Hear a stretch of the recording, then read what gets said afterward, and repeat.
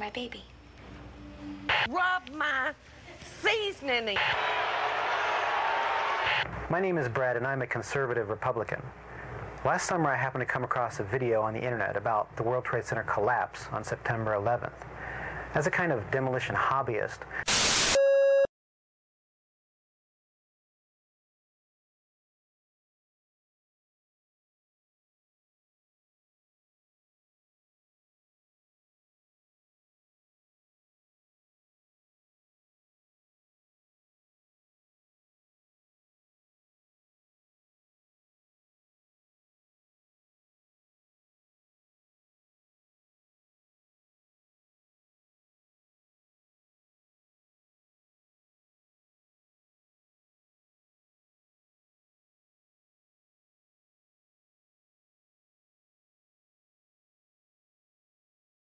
I downloaded it and watched it.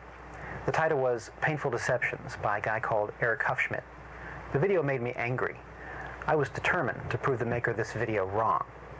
I purchased DVDs about 9-11 from CBS and PBS Nova, including one made by the Naudet brothers. These were considered the official videos.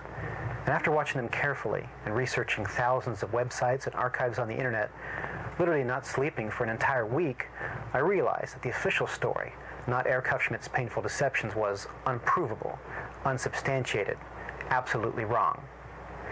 What you're about to see is information you should already know.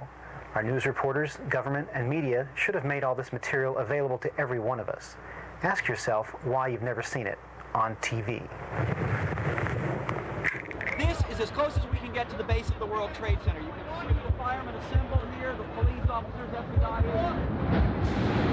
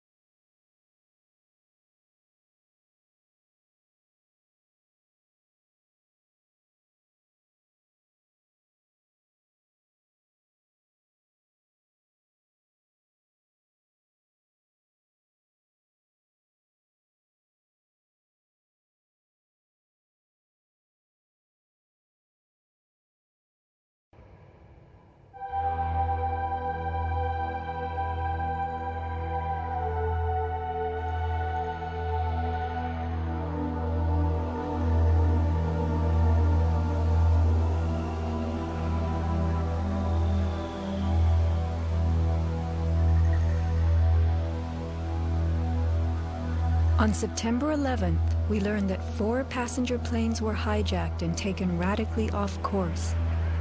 Within an hour, two of the planes had flown into the enormous steel towers of the World Trade Center, creating fires and eventually toppling them.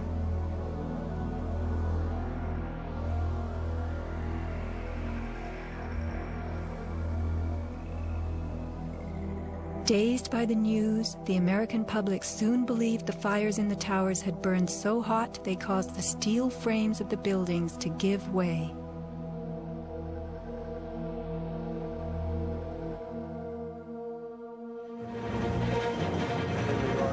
A myth developed, fed by official sources through the media to a bewildered audience.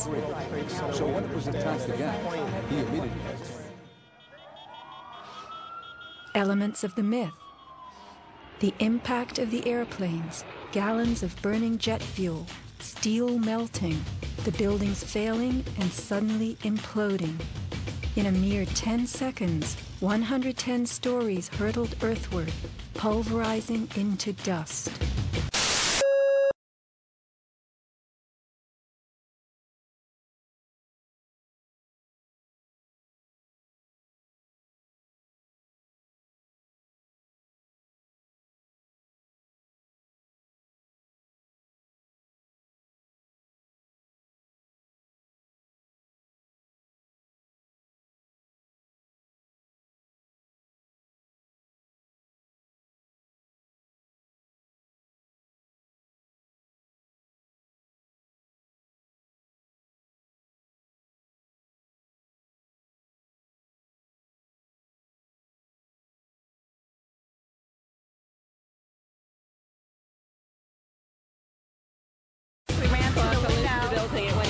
Right from the start, on the street itself, the official story was born. Come out of nowhere and just scream right into the side of the Twin Tower, exploding through the other side. And then I witnessed both towers collapse, one first and then the second, mostly due to structural failure because the fire was just too intense.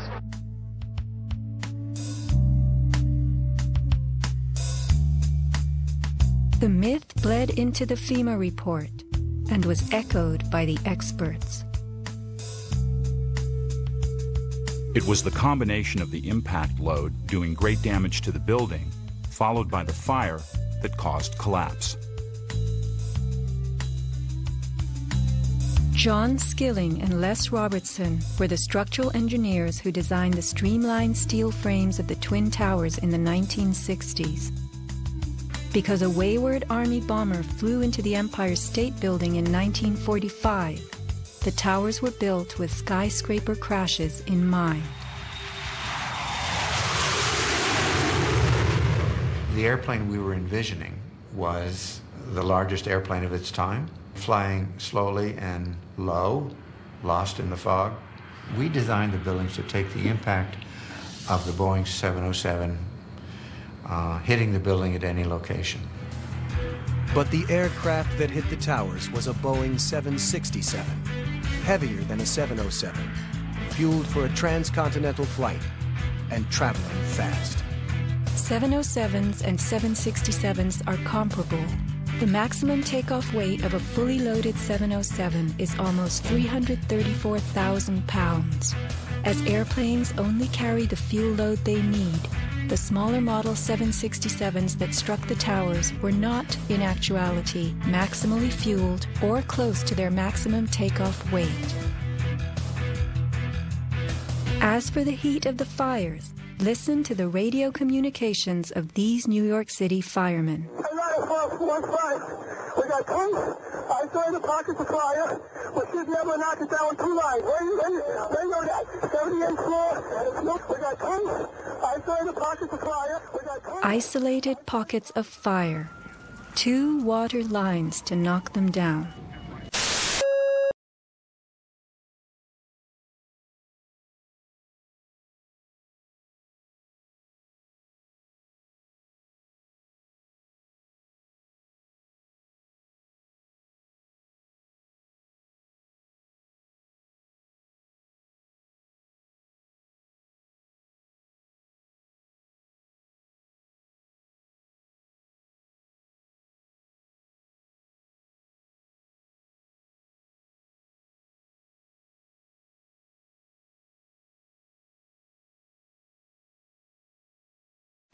FEMA's executive summary relays that much of the fuel in the planes, jet grade kerosene, was consumed by the initial fireballs and the following few minutes of fire. It then tells us that the burning jet fuel spread between floors and ignited the building's contents, causing more fire and generating heat. This was somehow enough to bring down the tower's 47 column steel core, 236 exterior columns, and thousands of steel trusses all at the same time.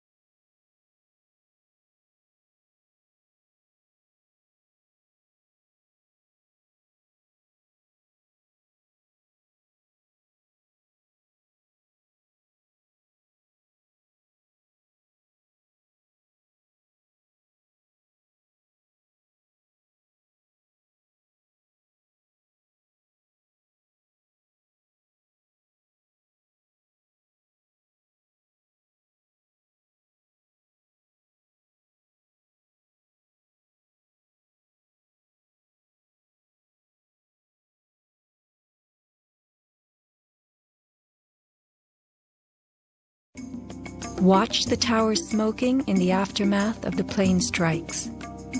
If you have ever tried to light a wood fire, you will know that smoking logs tell you the fire is not burning successfully. smoke is the sign of an oxygen starved fire. The Twin Towers stood for over an hour, smoldering but not flaming.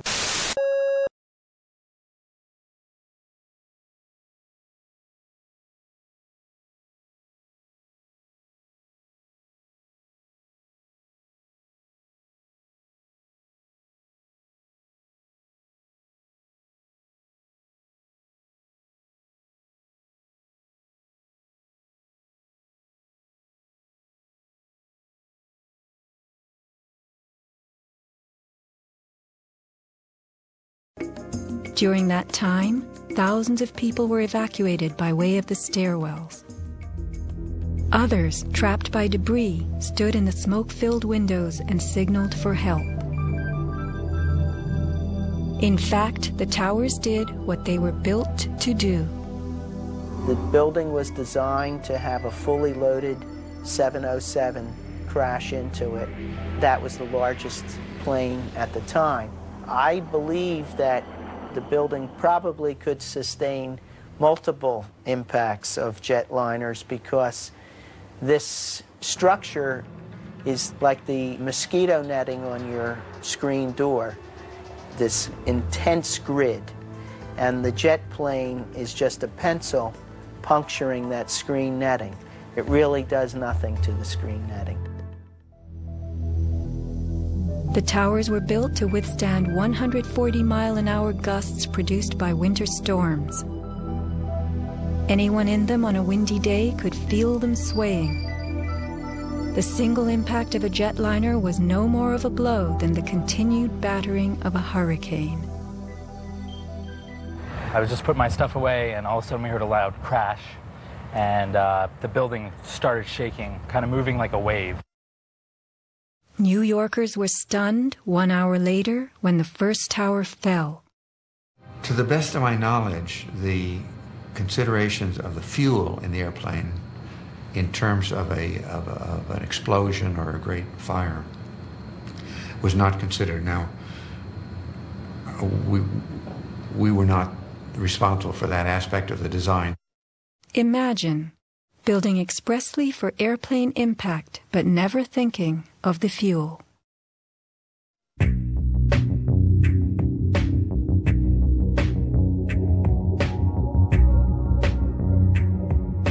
Never before in the history of the world has a steel building collapsed due to fire. I have not seen until recently a protected steel structure that has collapsed in a fire. True infernos have raged hot and long in steel framed buildings, but not one of the buildings ever came down.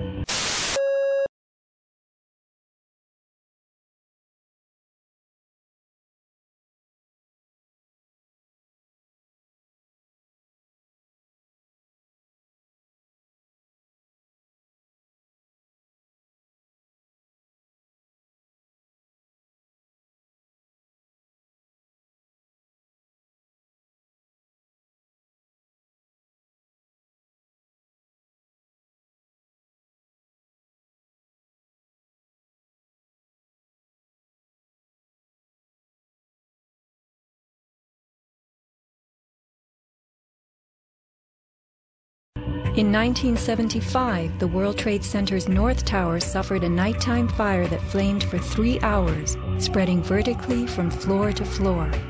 It burned twice as long as the fires of 9 11 without even a hint of a building collapse. In February 2005, the Windsor Tower in Madrid, a skyscraper undergoing reconstruction, sustained a 20 hour fire. This is what was left a standing building strong enough to support a crane.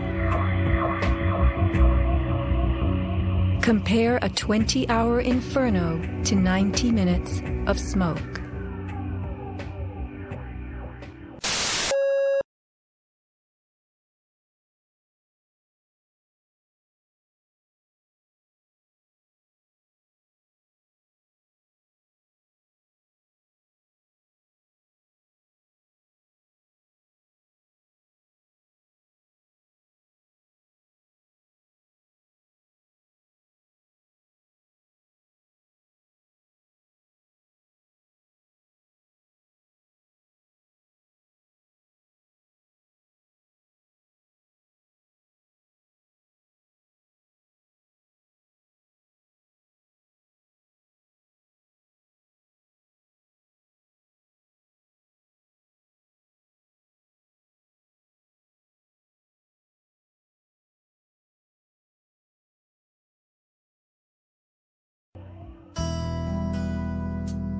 Why are buildings made of steel?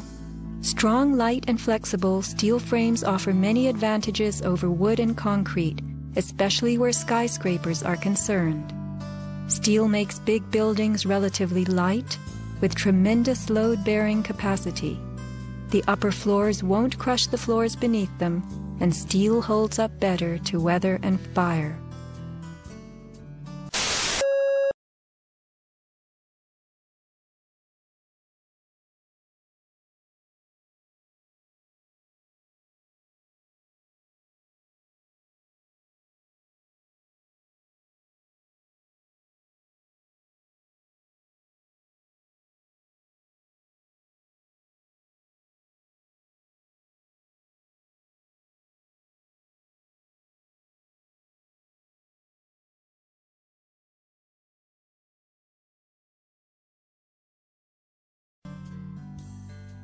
Most skyscrapers are built on steel or concrete frames, which is a grid of columns and beams that goes all the way through the building.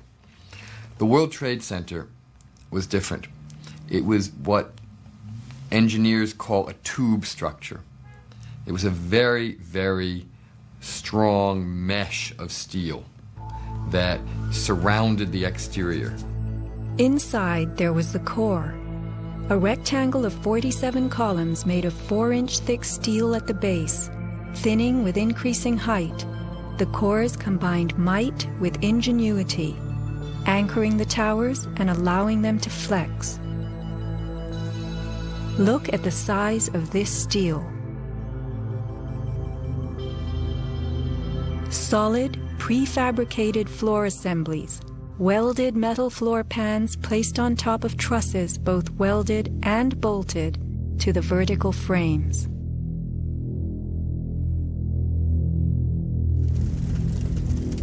The story we were told.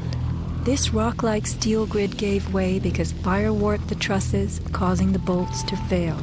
As the trusses sagged and fell, the floors dropped with them. In its 2002 documentary, Why the Towers Fell, PBS creates a video model. Once the trusses fail, the floors they were holding cascade down with a force too great to be withstood.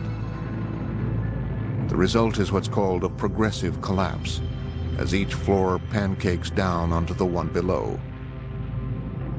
What remains standing? The tall, indestructible core why does PBS fail to explain the complete disappearance of the Twin Towers cores?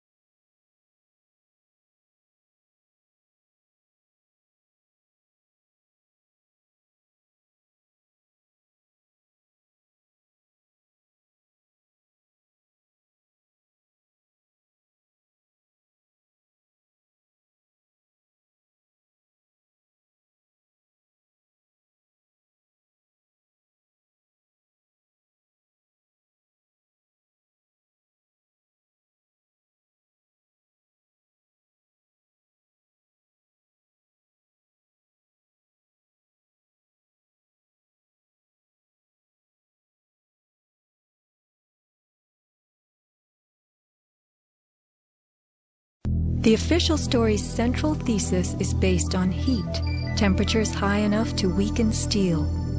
But people in the towers did not report such heat. Think about it. Neither steel, concrete, nor glass can burn. So what in those buildings could have burned to make such heat? How do these firefighters describe the collapse of the North Tower? We started running, floor by floor, it started popping out. It was like it was if, if, if they had detonated. That, Yeah, as if they were detonated, planning yeah. take down a building. Boom, boom, boom, boom, boom, boom, boom, boom. All the way down. I was watching it and running. And others give similar descriptions. At 10:30, I tried to leave the building, but as soon as I got outside, I heard a second explosion and another rumble and more smoke and more dust. And then a fire marshal came in and said we had to leave because if there was a third explosion, this building might not last. Like it sounded like gunfire, you know, bang, bang, bang, bang, bang, and then and then all of a sudden three big explosions.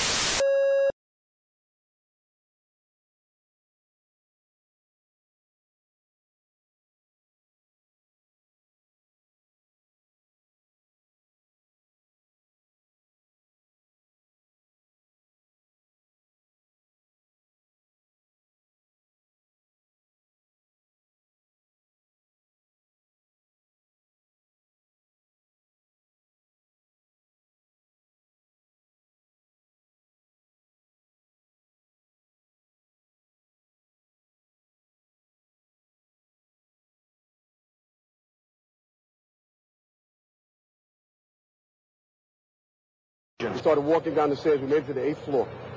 Big explosion. Blew us back into the eighth floor. Do you know if it was an explosion or if it was a building collapse? To me, it sounded like it, it, to me it sounded like an explosion, but it was a huge explosion. Chief Albert Turi told me that he was here after the events that took place this morning. He tried to get his men out as quickly as he could, but he said that there was another explosion which took place. And then an hour after, there was another explosion in one of the towers here. So according to his theory, he thinks that there were actually devices that were planted in the building.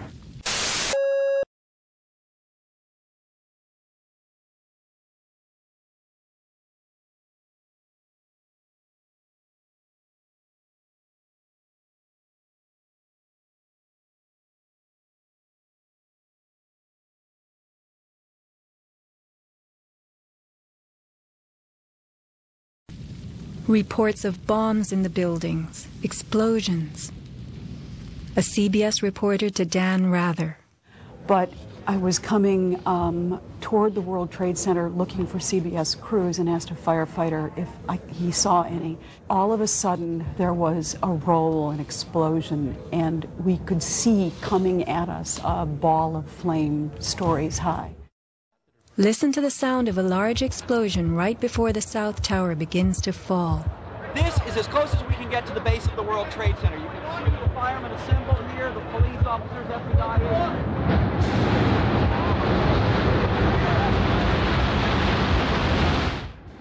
Sound reaches us after what we see.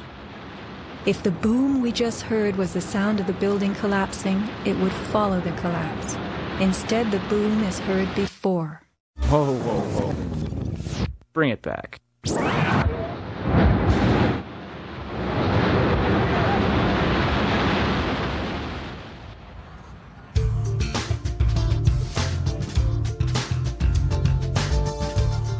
Let's consider the characteristics of steel. Steel is an alloy of iron containing added carbon for flexibility, workability, and strength. In the days of old, Blacksmiths heated iron till it was red and pounded it for hours to form it. Horseshoes, knife blades, and plowshares were typical creations. Steel was introduced in the mid 1800s, and by the end of the century, with the advent of the blast furnace, found widespread commercial use. A blast furnace is known as a controlled environment. High temperatures are reached as oxygen is pumped into a closed space.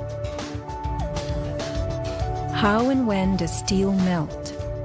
Steel melts at temperatures of 2750 degrees Fahrenheit and above, attained only in a blast furnace or when a powerful incendiary such as thermite is used. Steel or any substance that is burned will never become hotter than the temperature of the fire or heat applied to it. An open-air hydrocarbon fire reaches a maximal temperature of some 1200 degrees Fahrenheit in a dirty or uncontrolled burn. A controlled burn falls between a dirty burn like a fireplace and a controlled environment, the blast furnace. A controlled burn employs a regulated mix of air and fuel, an example being your gas stove or the engine in your car. You can fire up your gas stove all day long, making soup, roasting a duck, or simmering a stew. Made of steel, your stove will not melt, and nor will your pots and pans. This is a kerosene heater designed for use in any ordinary house. The heater runs on jet grade kerosene contained in this tank. Made of steel, the heater can operate all night and all day. The kerosene fumes ignite and burn inside it, never causing even the smallest part of this heater to weaken or melt. Yet we were led to believe that these tremendous buildings, framed in steel and surfaced in aluminum, totally collapsed from small scattered fires and 90 minutes of smoke. Take note of these hurtling beams, thrown laterally outward as the tower comes to earth. Would fire have the strength to eject such huge hunks of metal?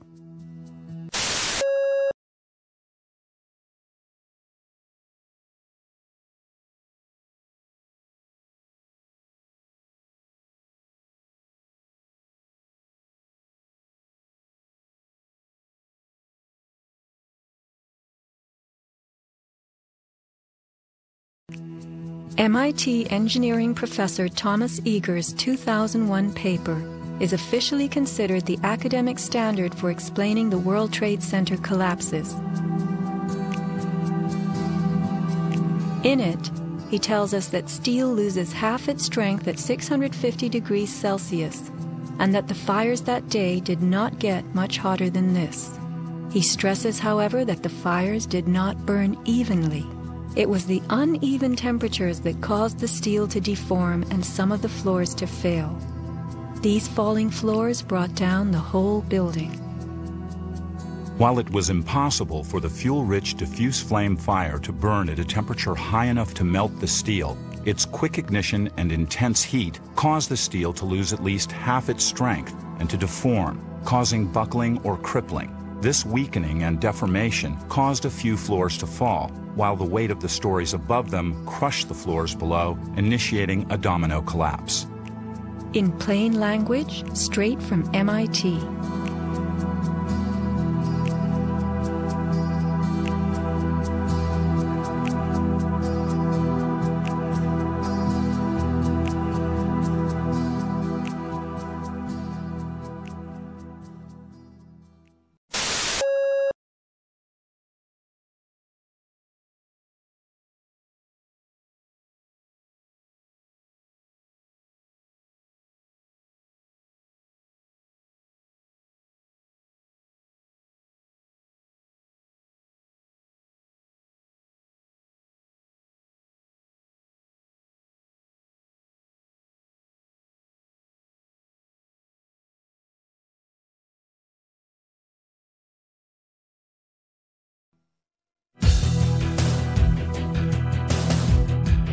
What do falling buildings look like? What do demolitions look like?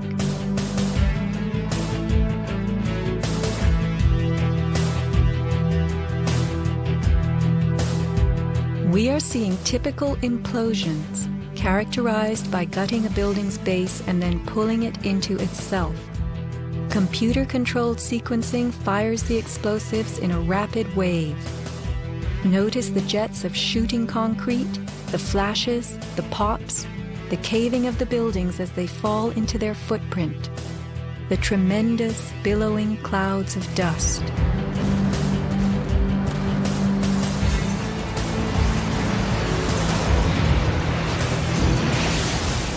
Now let's look at the collapse of the Twin Towers.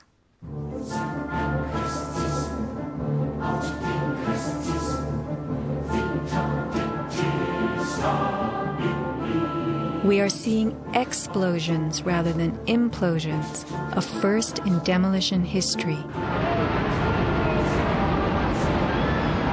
A sequenced rumble becomes a roar as debris is thrown outward. The buildings failing and suddenly imploding. We are seeing explosions rather than implosions. A sequenced rumble becomes a roar as debris is thrown outward.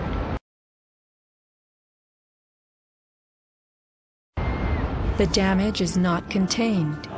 Even the windows are blown from neighborhood buildings. What kind of energy enabled this? Would fire hurl metal and concrete sideways into the air? Here, a 600,000 pound chunk of steel, twice the weight of a Boeing airliner, was flung 400 feet, wedging itself deep into Three World Financial Center on Vesey Street.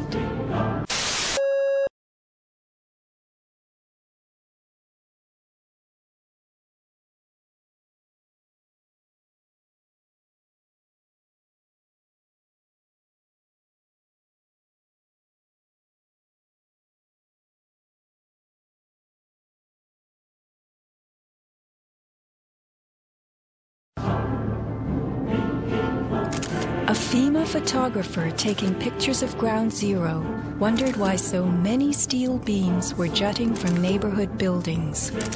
Watt shot pieces of the towers all the way across the street.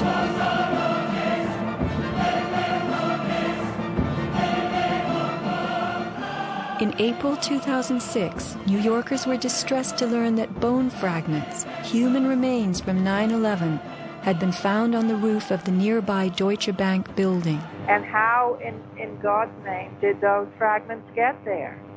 It surprised me that there was still bone fragments or human remains that had not been discovered. How is it possible that after five years they're finally looking on the rooftops of the of the Deutsche building? I mean, that's crazy. And bone fragments less than a centimeter long. How could they be so small? So much to be explained. Why did the South Tower fall first when it was the second tower to be hit?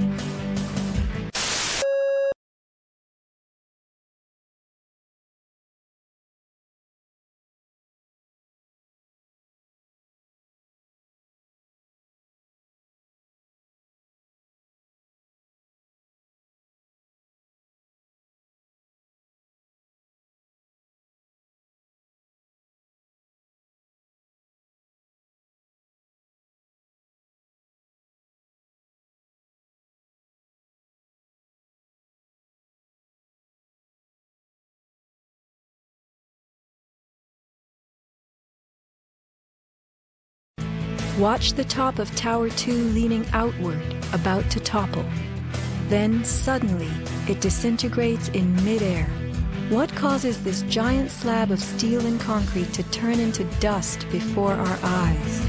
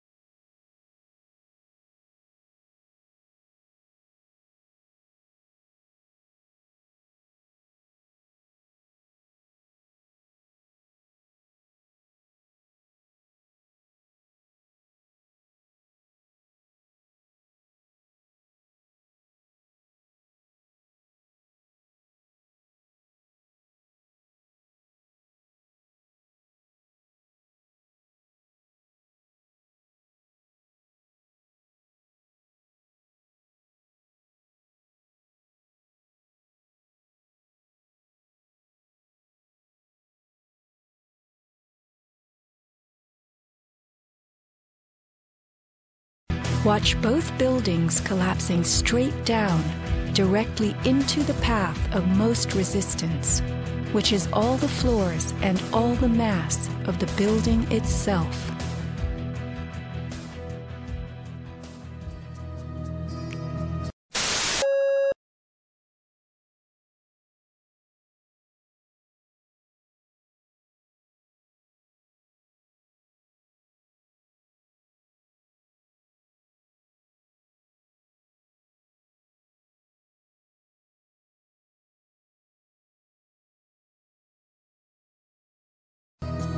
The World Trade Center towers came down in approximately 10 seconds.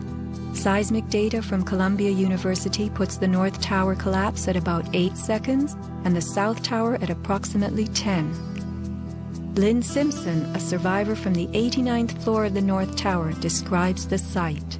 And I saw the Trade Center literally collapse in upon itself, floor by floor by floor, and it took seconds for it to happen. It was a massive building. and it just pancaked. 10 seconds. These are 110 story buildings coming to Earth at free fall speed, the rate at which an object drops through air. The lower floors would need to give way completely as the floors above them fell.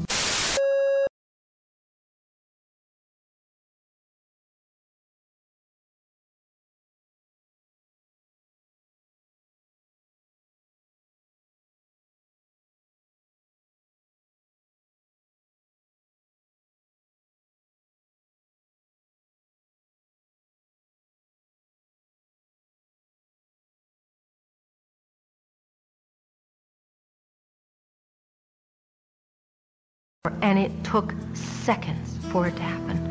It was a massive building, and it just pancaked.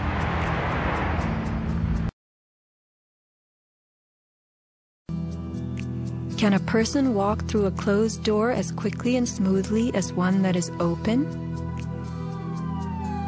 A 10 second collapse means the upper floors encountered no resistance from the undamaged floors beneath them. Watch the demolition wave rushing straight down.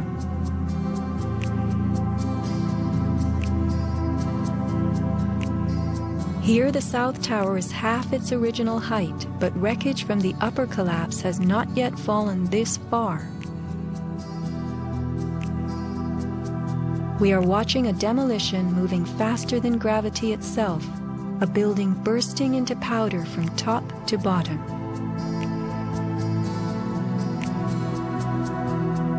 Here, the core of the North Tower finally gives up. 700 remaining feet of giant steel columns, among the strongest ever erected. What force acts upon the core to make it all of a sudden disappear?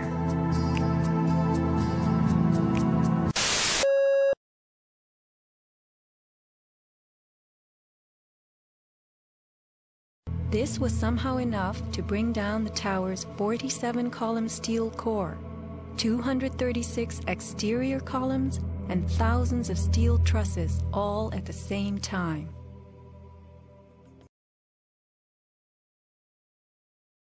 Here, the core of the North Tower finally gives up.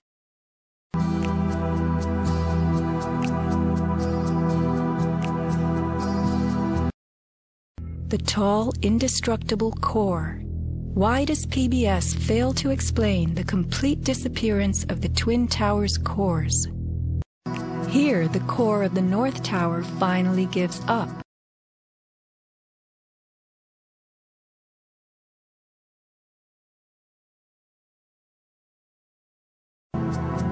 Eric Hufschmid, author of the book Painful Questions, is a metal cutting software engineer. I think 911 was not what the government says. The events actually happened. There were airplane crashes. There were people dead. But it was not as the government tells us. Eric Hufschmid, software developer. And developer of one of the softest piles of steaming bullshit in the history of paranoia. He wrote a book called Painful Questions, an analysis of the September 11th attack. We show you the cover because if you ever see anyone carrying it, push them down a flight of stairs. In a nutshell, what happened on September 11th, it looks like some people within the government fooled a lot of the others. They decided to run a fake terrorist attack. So 9 11 wasn't a real conspiracy, it was a fake conspiracy, cooked up by a different real conspiracy. Okay, what's your proof? Why, I don't know, but they apparently somehow the Arabs were sent to flight schools to Uh-huh. pretend that they were flying. Okay. Then they arranged some sort of possibly remote controlled airplanes to do the actual work of flying into the towers and Uh-huh. hitting the Pentagon, Hmm. creating what seems to be an attack by Arabs. Wow. Did you do that hard hitting data research in your ass? The floors of the World Trade Center towers were on three dimensional mesh of steel beams. You have to keep in mind now the floor is about an acre in size. There are thousands of joints all over it. In order for the floor to fall down, thousands of joints would have to break simultaneously. And then if you look at the speed at which this came down, less than 10 seconds, you, you blink your eye and thousands of joints just pop somehow. The only way you can explain that is with explosives. They had to have had explosives placed all over the floors at the primary joints. And then that would explain how all of the joints broke at such a rapid rate. The debris was crashing from one floor to the next. Debris cannot crash through steel and concrete floors as fast as it falls through the air. And there was no slowing. Explosives had to be breaking the joints ahead of the falling rubble, which is why the top half starts off collapsing slowly and then it starts picking up speed.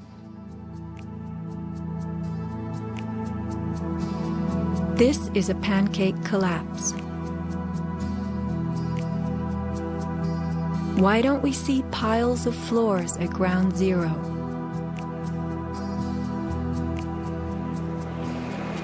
And paper blown everywhere. Wouldn't a pancake collapse have trapped the contents inside?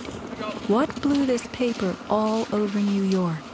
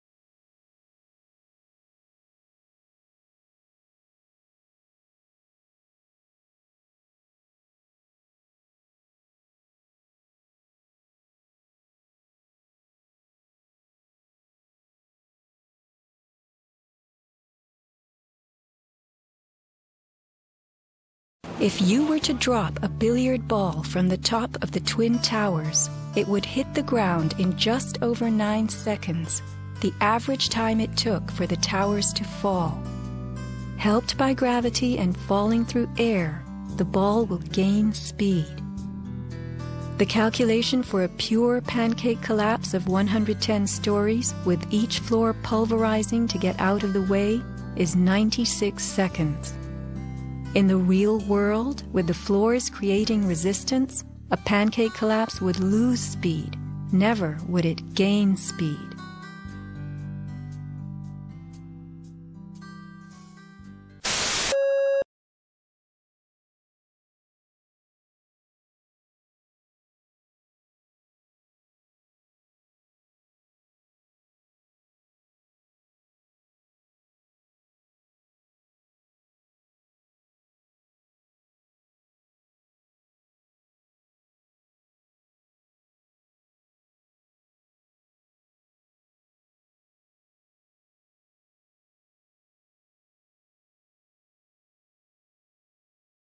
So let's say you can aim a beam at steel, and on the molecular level, it triggers the natural frequency of its molecules, which start building, building until it self-destructs and explodes. Uh, It's on a very small scale compared to a big scale, but that just for mental image, think of that idea. So you initiate it, and then it. So instead of a horizontal like the narrow, you're talking vertical. Well, I'm talking Vertical about oscillations energy. or are they horizontal oscillations? I'm just talking about, about energy-wise. Yeah, we also have swing sets where you push a kid on the swing, yeah. and if you push at the right stroke, you get him swinging bigger. If you push him in the wrong part of the stroke, you stop him. Yes, It's that kind of idea. yeah. Working with the system, it, as you can, if you can energize it somehow, so that it seems reasonable that you could have different frequencies that would affect different things differently. This is going to require an astonishing source of energy. Uh huh. That's Think like a For, for those who uh, doubt that such an, a thing exists, that's what I posted on my webpage this afternoon. There's even a picture of uh, such a gizmo. Yeah, we need to talk about. Yeah, we're talking about here a directed energy weapon, a high tech weapon that can direct energy in the form of waves that can be concentrated and can have broader or narrower amplitude, correct? Yeah, who knows that, you know, what frequencies? We don't need to even answer that.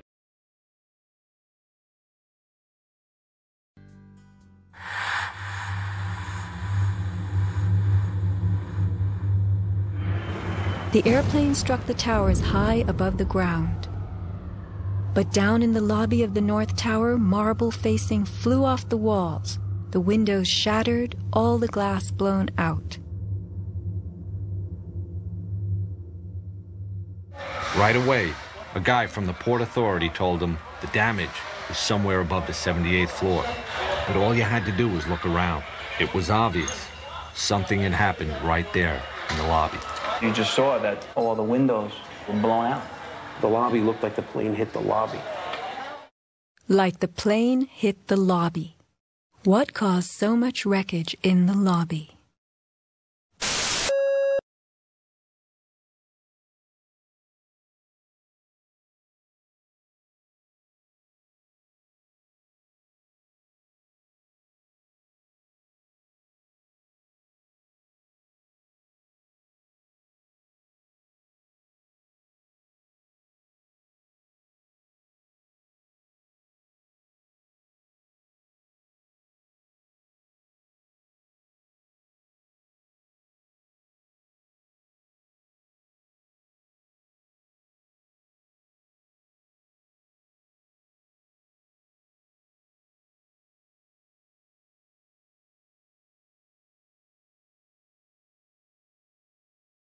William Rodriguez, a maintenance employee at the World Trade Center and the last human being to exit the towers alive, describes a giant blast below his building. And all of a sudden, we heard an explosion. It was a huge explosion that came from under the, uh, my feet, meaning that it came from the sub levels between B2 and B3.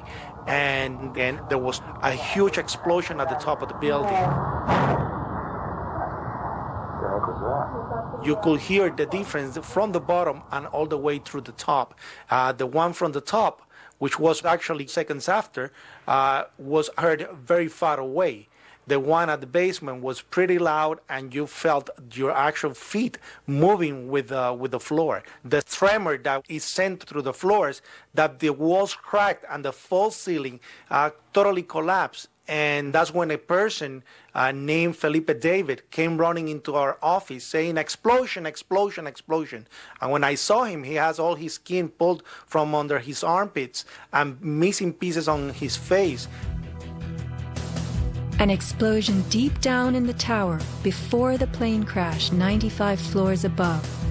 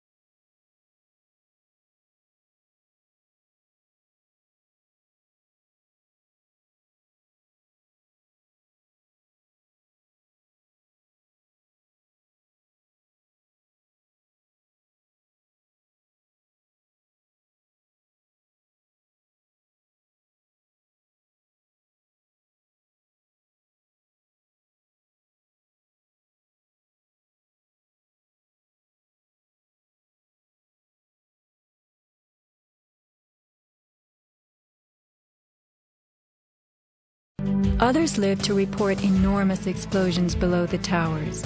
Construction worker Philip Morelli was in North Tower's sub-basement 4 at the time of the first plane strike. I go downstairs, the foreman tells me to go to remove the containers. As I'm walking by the main freight car of the building in the corridor, that's, that's when I got blown. I mean, the impact of the explosion, of whatever happened, it threw me to the floor, and that's when everything started happening blown to the floor. Let's hear what happened next. I was racing, I was going towards the bathroom. All of a sudden, I opened the door, I didn't know it was a bathroom, and all of a sudden, a big impact happened again. And all the ceiling tile was falling down, the light fixtures were falling, swinging out of the ceiling. And I come running out the door, and everything, the walls were down, and now I started running towards the parking lots. There was a lot of smoke down there. There was a lot of people screaming.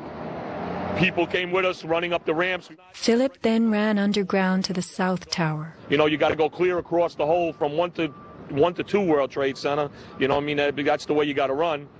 And then all of a sudden, it happened all over again. Something else hit us to the floor. Right in the basement, you felt it. Walls were caving in. Everything that was going on.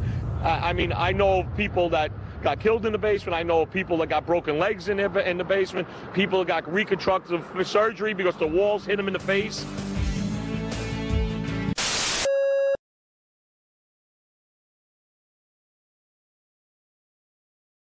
Everybody talks about what the new Trade Center is going to look like, but I'm telling you right now, the old Trade Center was the most beautiful thing in the world. It was a city in its own, and and they made it that way. Those people that worked there made it that way.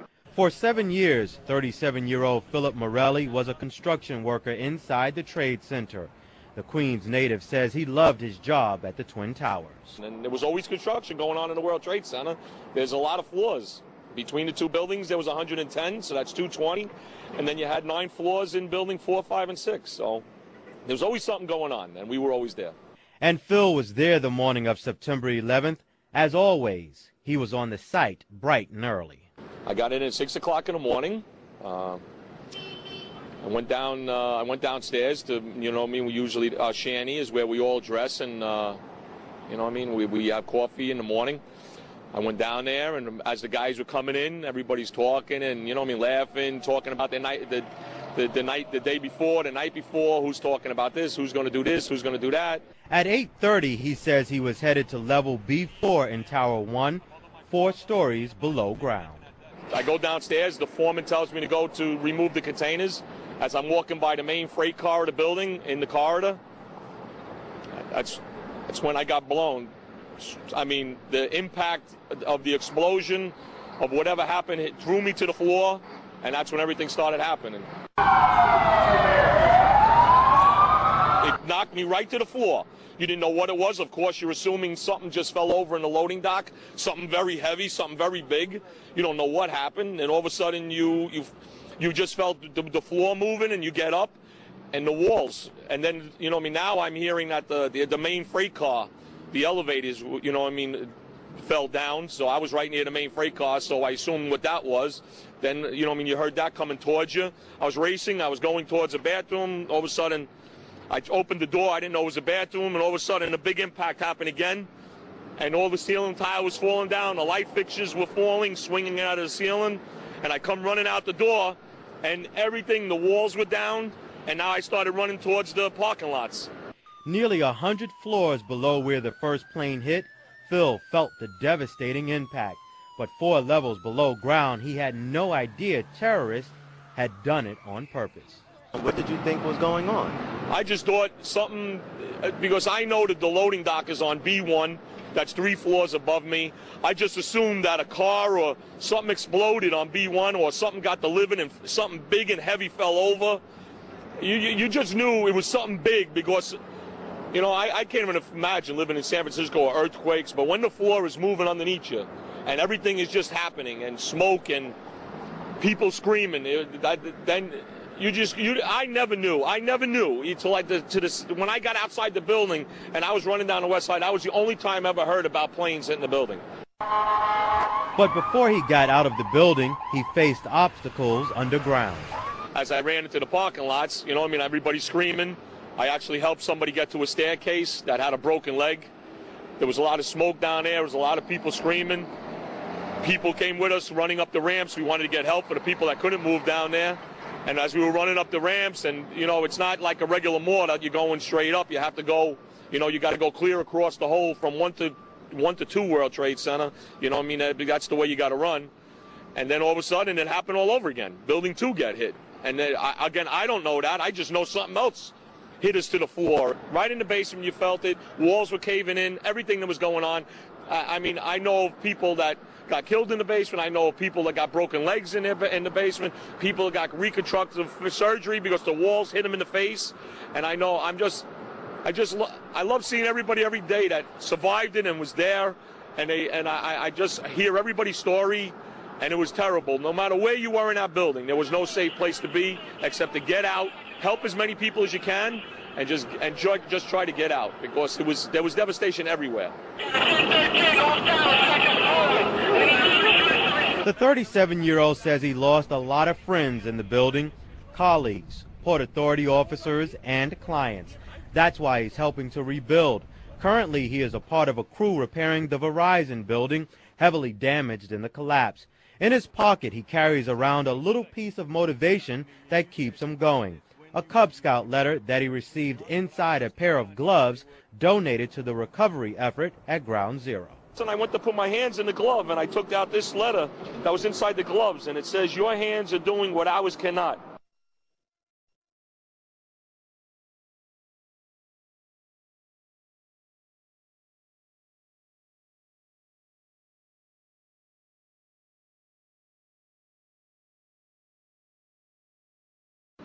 And then all of a sudden, it happened all over again. Something else hit us to the floor. Right in the basement, you felt it. Walls were caving in, everything that was going on. And then all of a sudden, it happened all over again. Building two get hit. And then, I, again, I don't know that. I just know something else hit us to the floor. Right in the basement, you felt it. Walls were caving in, everything that was going on.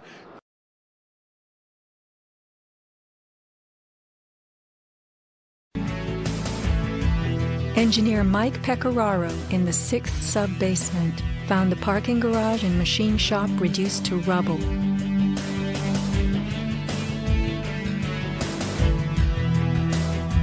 Rescue firemen and civilians spoke of hearing explosions throughout the towers. Firefighter Lou Cacchioli told People magazine that as he and others evacuated workers, bombs were going off inside the building.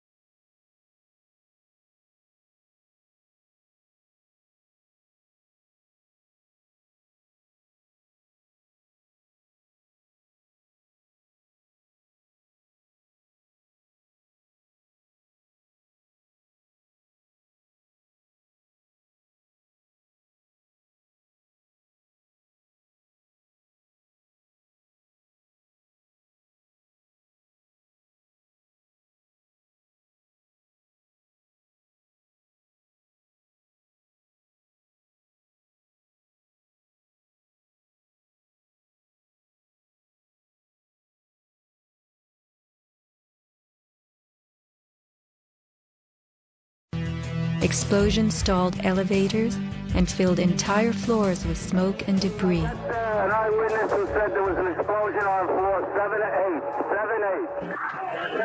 dispatch, we've just had another explosion. Its blasts within the North Tower well before it fell.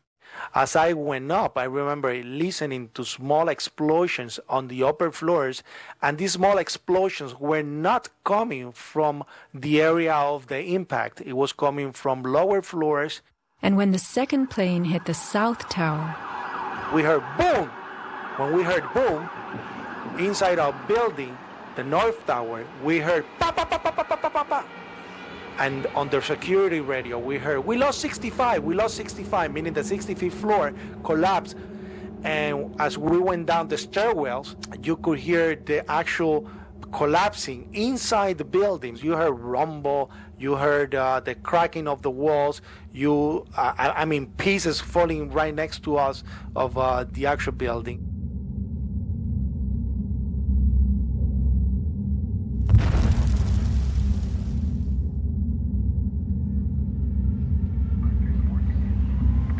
What happened at the base of the towers just before they came down? Smoke appeared at street level.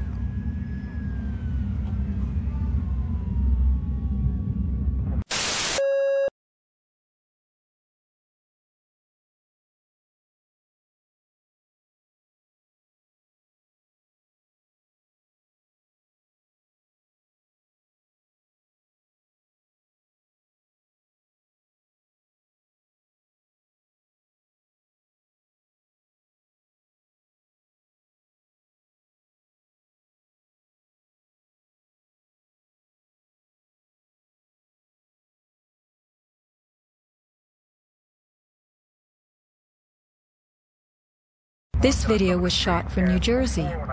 An explosion is heard as white smoke rises at the base of the building. Now people are gathering in large groups. In fact, at one corner, smoke was coming from the city. Folks stepping out of bodegas and stores.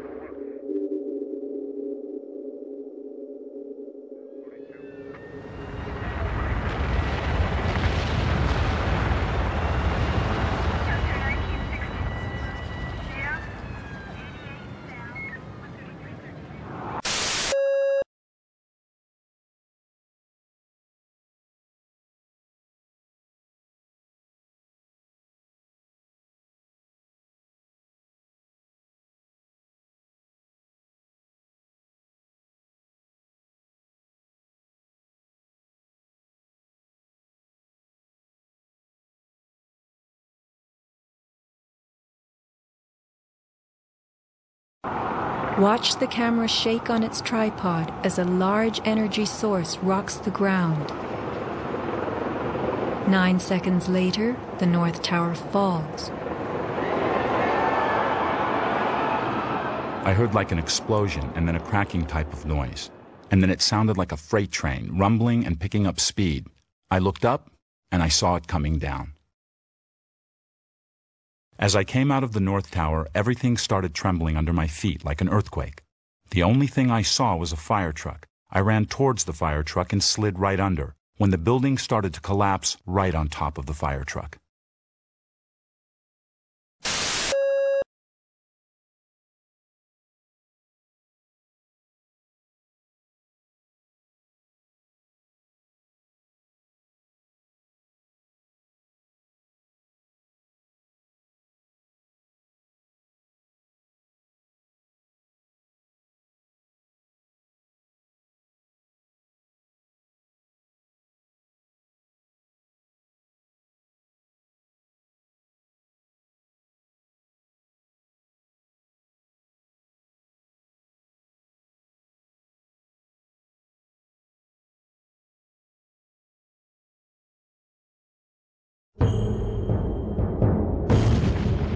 Across the Hudson River, Richard Siegel was filming an astonishing day.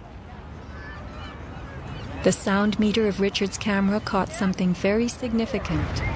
Adjusted for the distance involved, as sound travels more slowly than what we see, the camera registered multiple explosions in the towers. Here is the South Tower record. Then the building fell.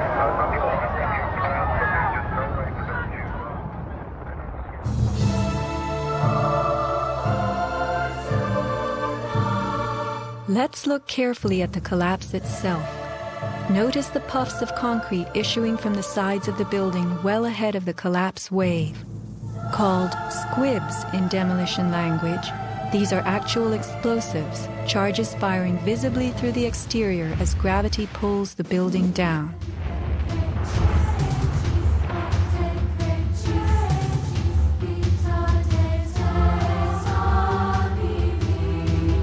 Here are more.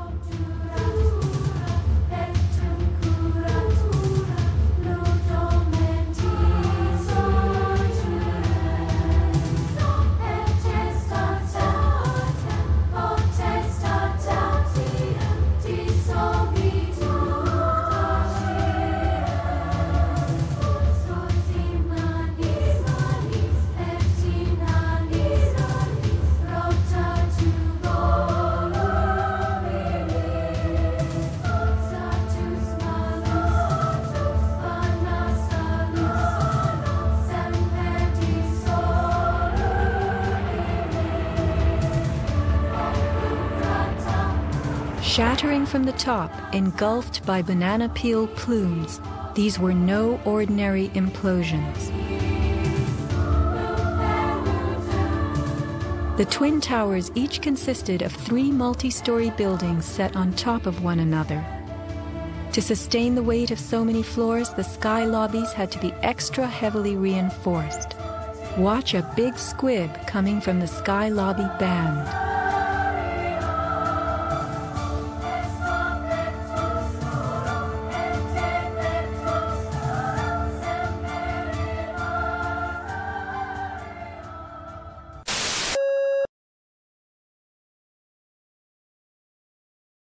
Notice the puffs of concrete issuing from the sides of the building well ahead of the collapse wave.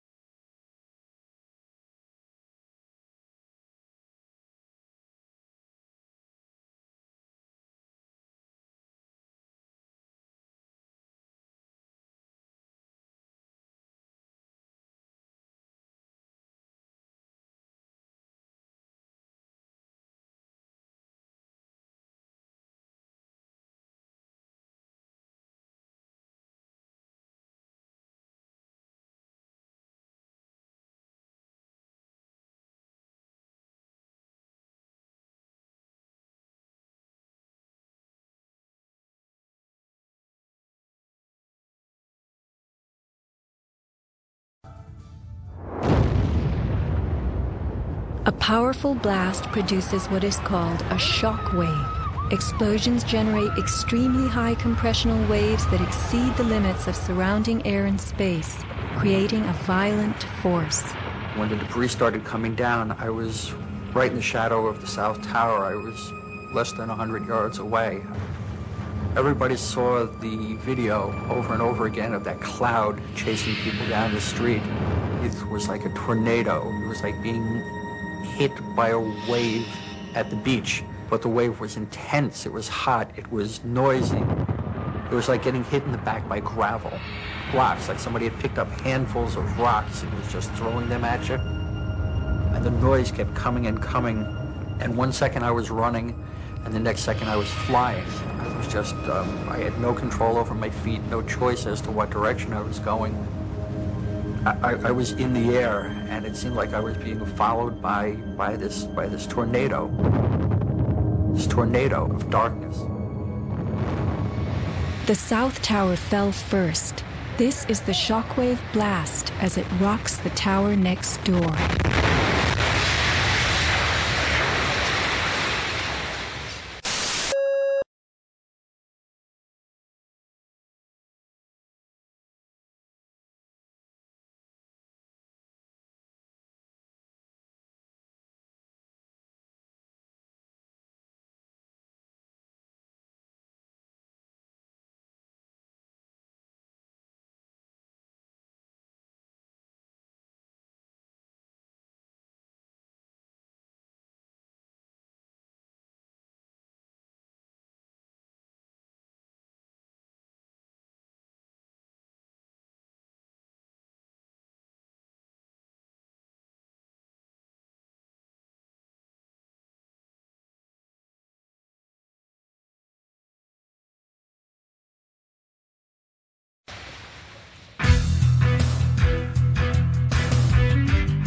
As the buildings fell, they darkened Manhattan, filling the air with billowing clouds of dust and ash.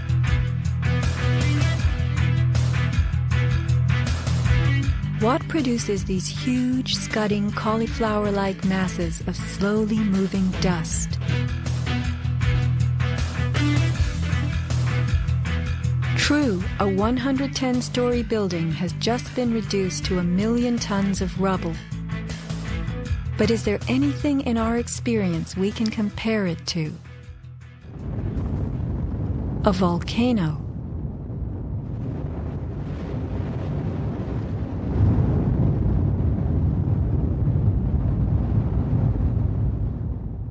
The U.S. Geological Survey website provides us with a definition of a pyroclastic flow as a ground-hugging avalanche of hot gas and debris. The rising gas chimney is clearly visible in this photo of the North Tower implosion with pyroclastic flows between buildings. The cauliflower shape of the debris clouds is a telltale sign of pyroclastic flows generated by massive explosions typical of volcanic eruptions and controlled demolitions.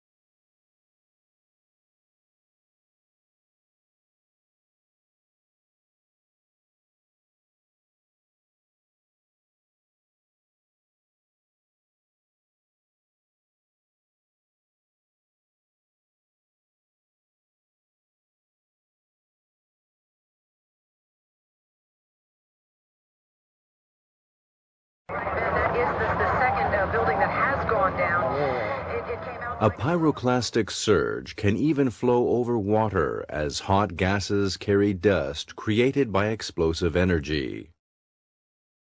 Here, the South Tower implosion creates a pyroclastic surge moving out over the Hudson River. A volcanic eruption produces exactly the same thick scudding ash, heavy with debris, hugging the ground as it flows out from a tremendous internal explosion.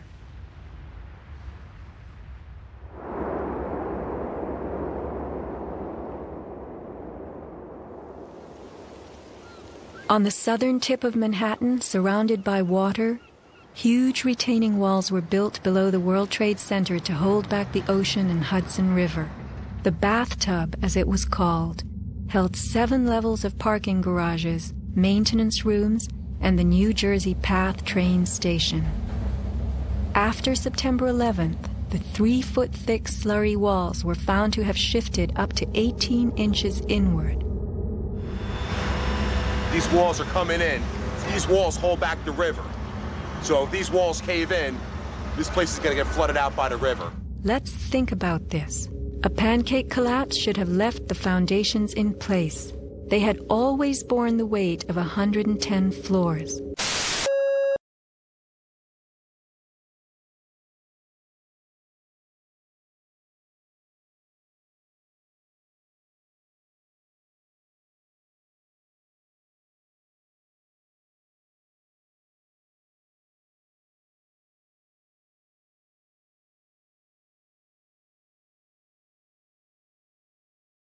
But something happened in the sub-basements to disrupt them. All the collapse had gone down to track level. So we had 60, 70 feet of wall, totally unsupported.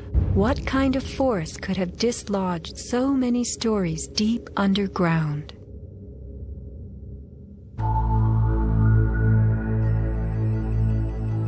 The pile itself seemed to have a life of its own.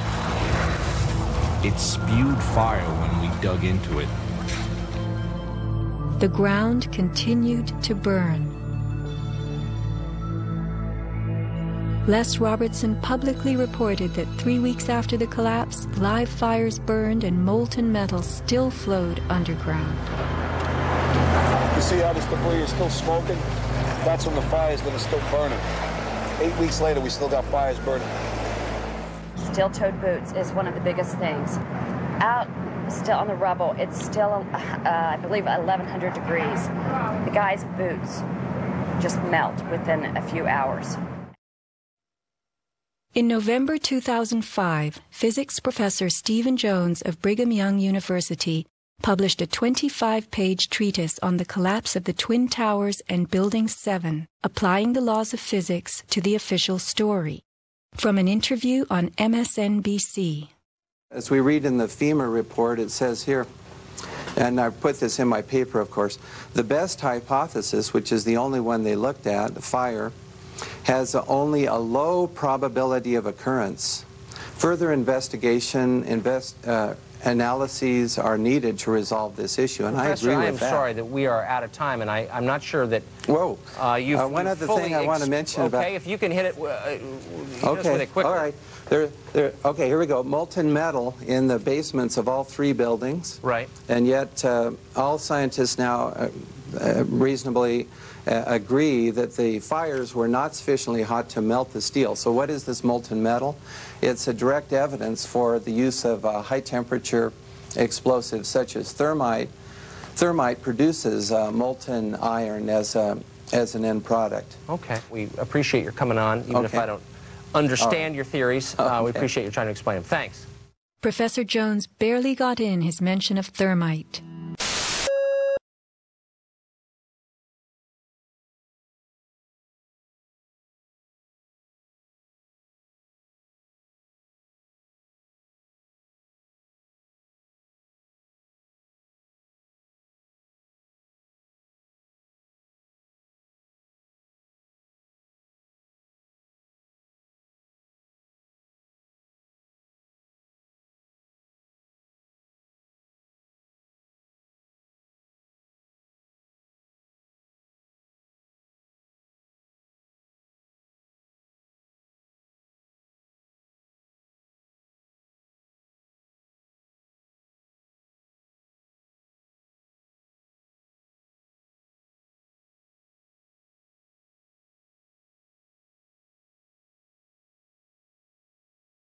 An incendiary used by the military, thermite is a compound of iron oxide and aluminum, which when ignited sustains an extreme heat reaction, creating molten iron.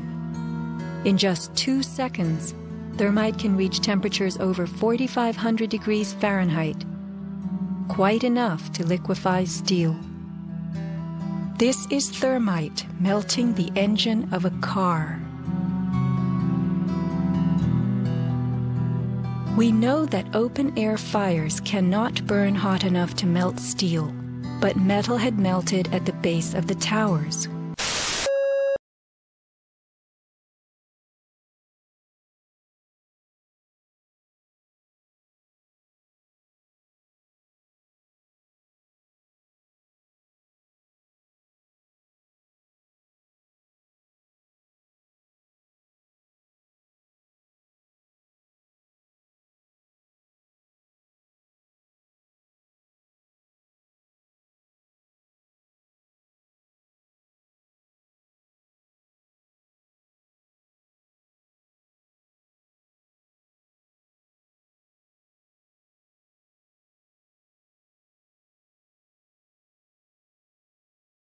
The second product of a thermite reaction is aluminum oxide, visible as white smoke.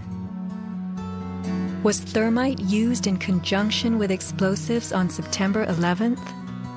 Watch this very bright substance pouring from the 81st floor of the South Tower.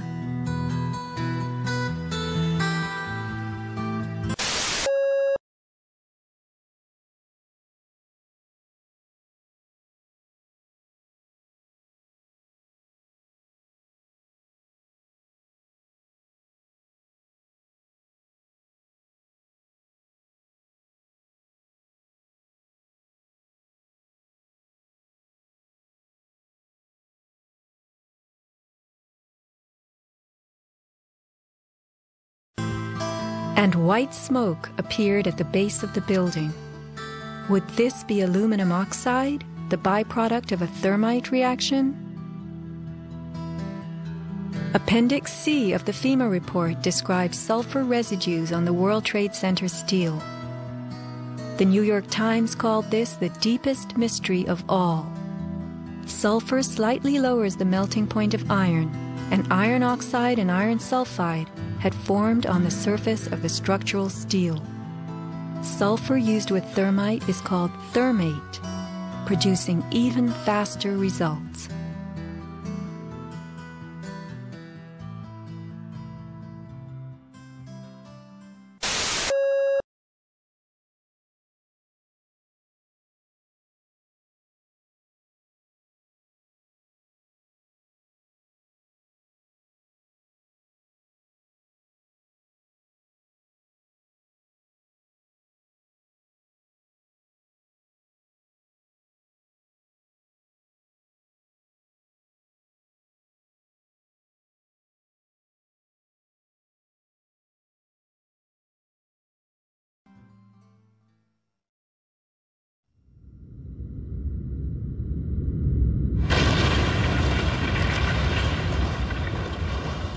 Let's look at what happens in the demolition industry.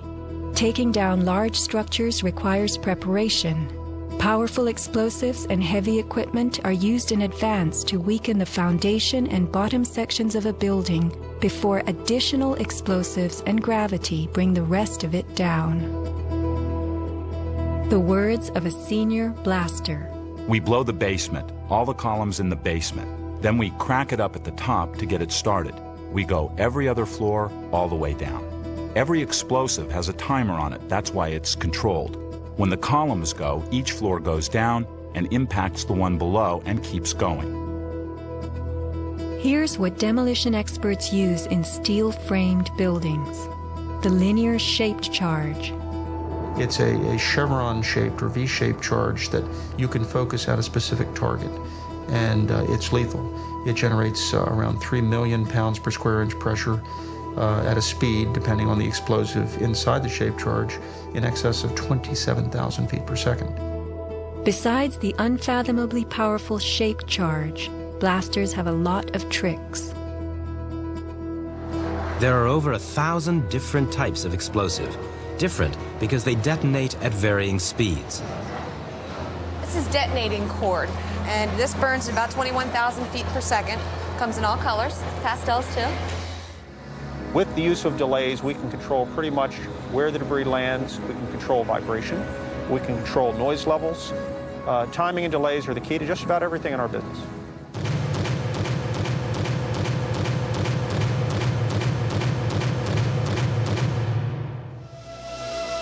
And what is the result?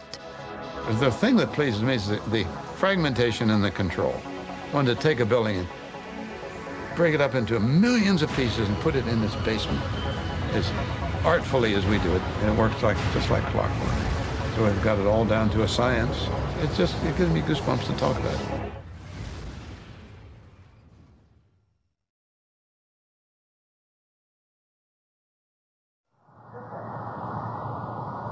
Were the underground explosions intended to blow out the Twin Towers' basements, followed by blasts heard inside the buildings of shaped charges slicing the core? The secondary explosion. We've got numerous people covered with dust from the secondary explosion. Demolition pre-weakening usually takes place well in advance of the final blast, but at the World Trade Center, critical prep work might have had to occur in a very compressed time frame in the panicked aftermath of the plane strikes.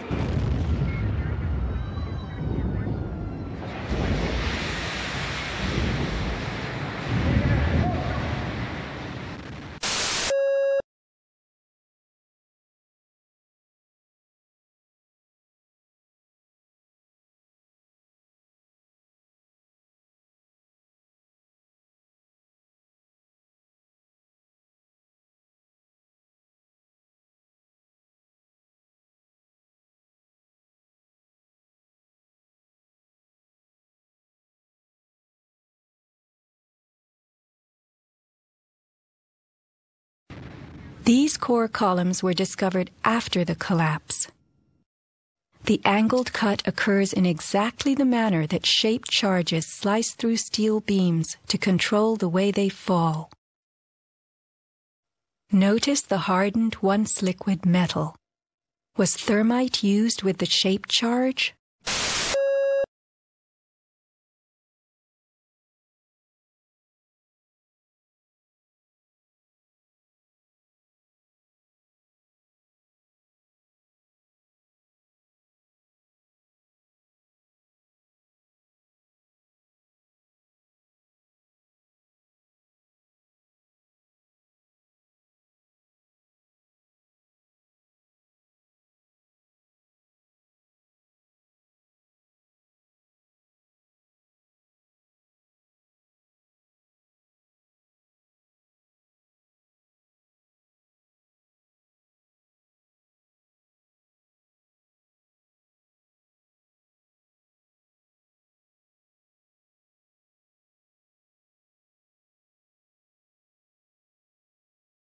The job of the shape charge is to cut steel H-beams.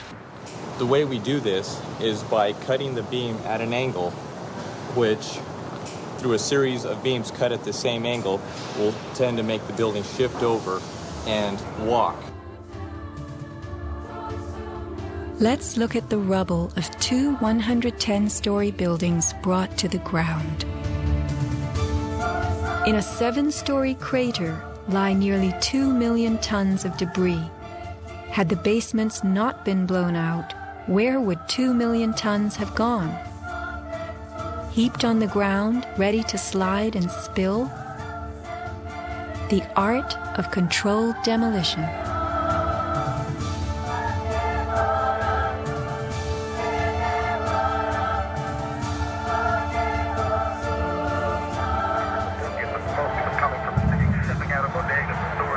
Remember the pre-collapse and mid-collapse explosions caught by Richard Siegel's camera on the Jersey shore? Were these the blasts that took out the core and upper basements just before the final crumble, a mind-boggling sequence of computer-controlled delays that blew the exoskeleton, pulverized the concrete, to bring the whole structure rolling to the ground?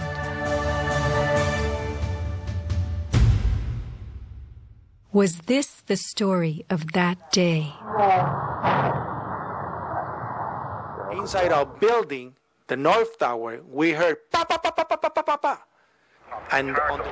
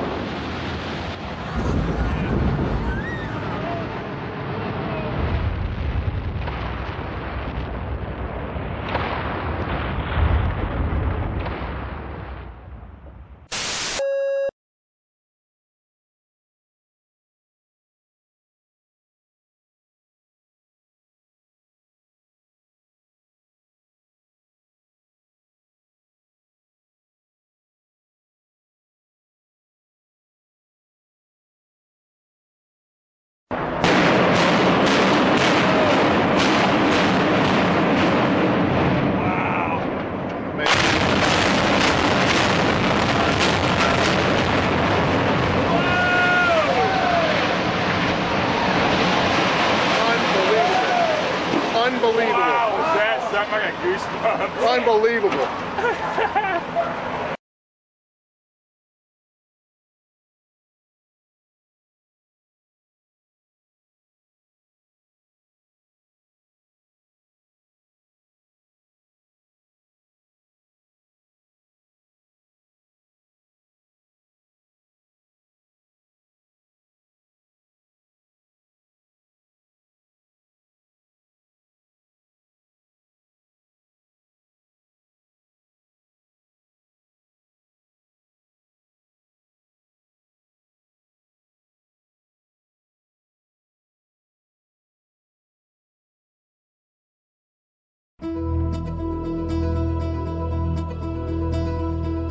Some people appear to have known the imminent future on that fateful day. FEMA had arrived in New York on Monday night, ready for a bioterror drill. Spokesman Tom Kenney to Dan Rather. To be honest with you, uh, we arrived on uh, late Monday night and went into action on Tuesday morning. And not until today did we get a full opportunity to work uh, uh the entire site other than the spot at Church and Dey to which we were deployed. And Rudy Giuliani, mayor of New York, tells ABC's Peter Jennings that he was aware the towers would be coming down. What is going on now is a massive uh, rescue effort. Do you believe it's hundreds or thousands? I, I, I really don't. I really, I really don't want to say right now, Peter. I, I think it's going to be hor- a horrible number. I, I saw people jumping out of the World Trade Center. I saw some of the firefighters who I know going in, into the building. So and we were in a building in which we were trapped for about 10, 15 minutes. And we set up uh, headquarters at 75 Barclay Street, which was right there with the police commissioner, the fire commissioner, the head of emergency management. And we were operating out of there when we were told that the World Trade Center was going to collapse. The World Trade Center was going to collapse. It was going to collapse. It was going to collapse.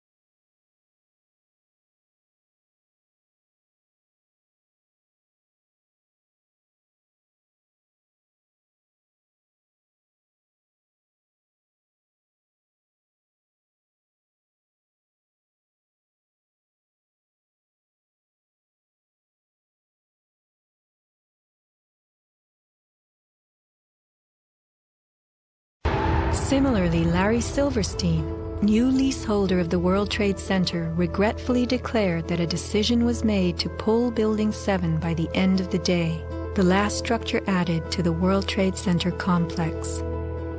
Let's hear Mr. Silverstein's actual words, delivered for our benefit in the 2002 PBS documentary America Rebuilds. I remember getting a call from the uh, fire department commander telling me that they were not sure they were going to be able to contain the fire. And I said, you know, we've had such terrible loss of life. Maybe the smartest thing to do is, is pull it. Uh, and they made that decision to pull, and then we watched the building collapse.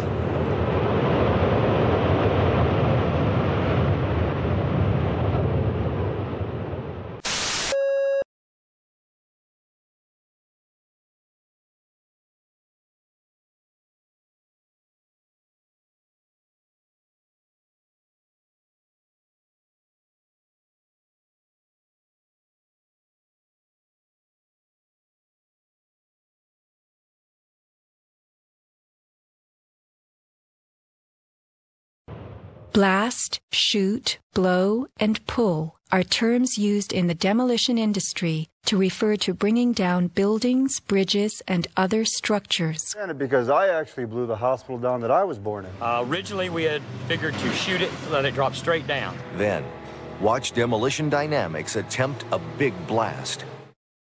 And from Ground Zero's own post disaster wrecking crew.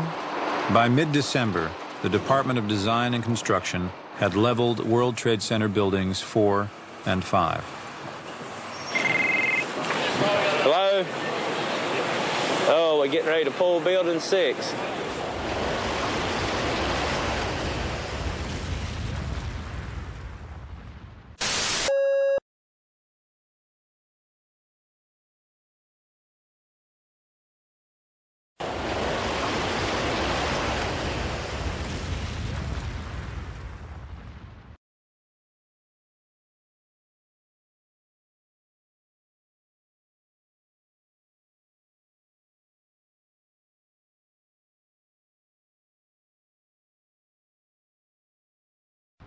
Silverstein, a commercial real estate tycoon with international political connections, acquired a 99 year lease on the World Trade Center complex in the spring of 2001.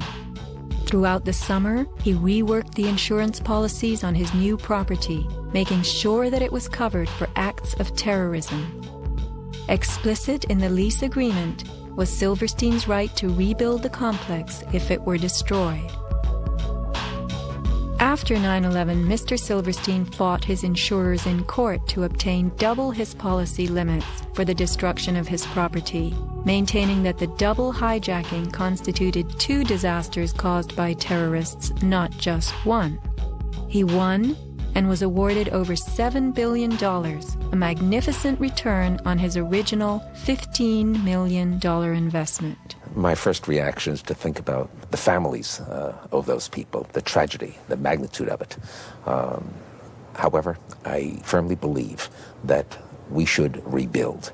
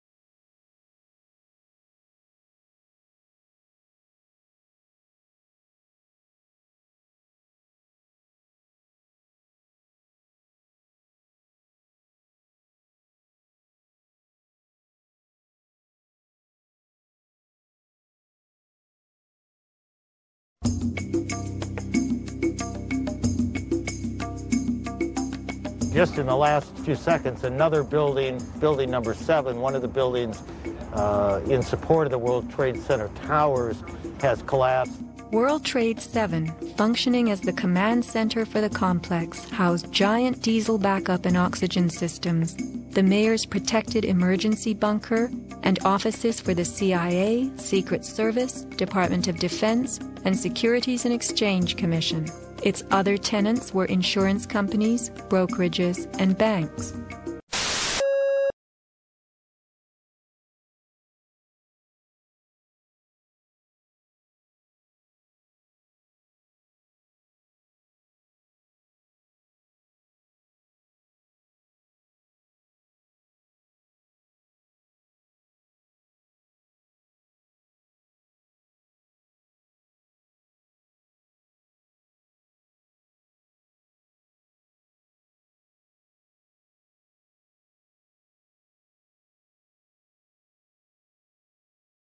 No plane hit Building 7, but at 5:20 p.m. on September 11th, it collapsed in a heap on the ground. Some damage to Building 7 is said to have been caused by debris from Tower 1. Though this New York Times article tells us Building 7 burned like a giant torch, the only visuals that exist are of unidentified smoke and a few small fires. Compare this to the wallops sustained by World Trade Center 3, 4, 5, and 6. Positioned right below the towers, damage to the surrounding World Trade Center buildings was infinitely worse. Still, the structures held up.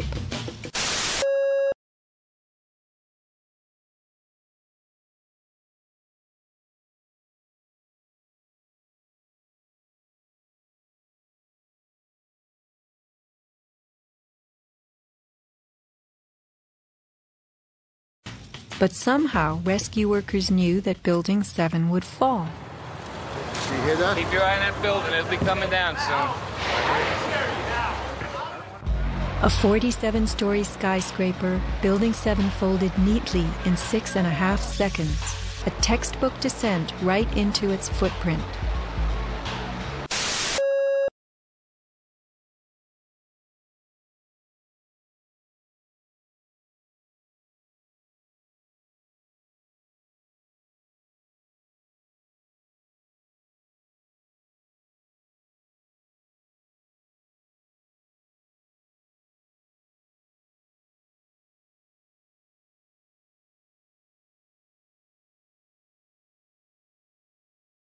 Fellini. They were ordered out at 11:30 that morning.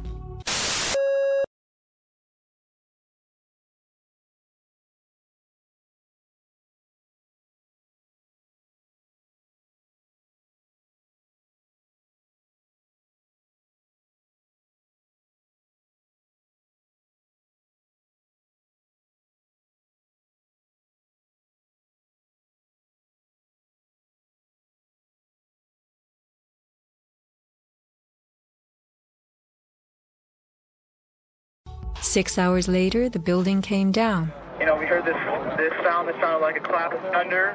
Turned around, it looked like there was um, a shock wave ripping through the building, and the windows all busted out. And you know, it was, it was horrifying. About a second later, the bottom floor caves out, and uh, the building followed after that. Radio host Alex Jones notes the mark of a classic implosion. This is a photo taken one second into Building 7's collapse. Notice the crimp. If we look at other controlled demolitions, we see that they first blow one of the central columns so the building falls in on itself. If you don't do this, the building falls outward and can damage surrounding structures. Building 7 had a classic crimp or wedge. Its central column was blown out first, so it didn't structurally damage buildings just a few feet away from it.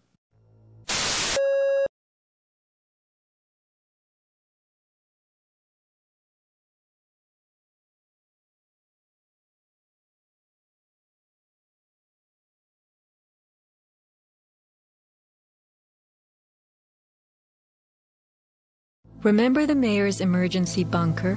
Ensconced on the 23rd floor of Building 7, it was retrofitted with superglass, water, oxygen, and its own generator. But Mayor Giuliani chose to find emergency shelter elsewhere on September 11th. Why Building 7? Even the media and its experts were confused. The History Channel interviews structural engineer Ramon Gilsanz, who points out the obvious crimp and even speaks of the implosion. Engineers are not just focusing on the Twin Towers. The most disturbing structural event was not that the Twin Towers fell, but that Tower 7, ignited by flying debris, fell due to fire alone. Building 7 was a steel frame building and is the first steel frame building that has collapsed due to fire. The failure of the building was an implosion. It failed completely different than towers 1 and 2, in which the floors failed first. Why Building 7? Let's ask the question again. As the WTC Command Center, was it the hub for the 9 11 plan? Also, in six and a half seconds, lost forever were thousands of SEC case files on corporate fraud, including those relating to the notorious activities of giants WorldCom and Enron. A few indictments for stock fraud, but what of the $70 billion California electricity swindle? It disappeared.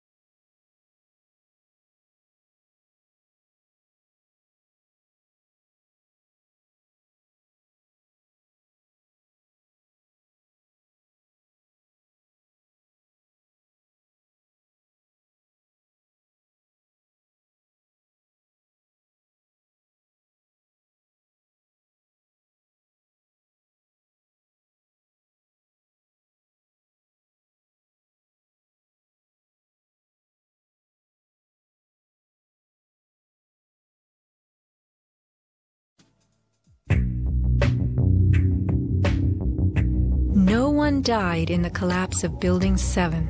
It was vacated well in advance of its implosion, but not the Twin Towers. Why weren't police, firemen, and civilians in these buildings told what to expect? Tragically, employees in the towers were advised to return to their offices. The announcement came on that everything was fine. Tower 1, they were evacuating, but Tower 2 was fine, and we could go back to our offices. We were about to go through the turnstile. The security guard says, where you guys are going? I said, well, I'm going home because I saw fireballs coming down. He said, no, your building is safe. It's secured. It is safer to stay in your building. Go back to your office. Stanley Praimnath returned to the 81st floor. Then... I just happened to raise my head looking straight towards the Statue of Liberty, and what I saw was a giant airplane coming straight towards me.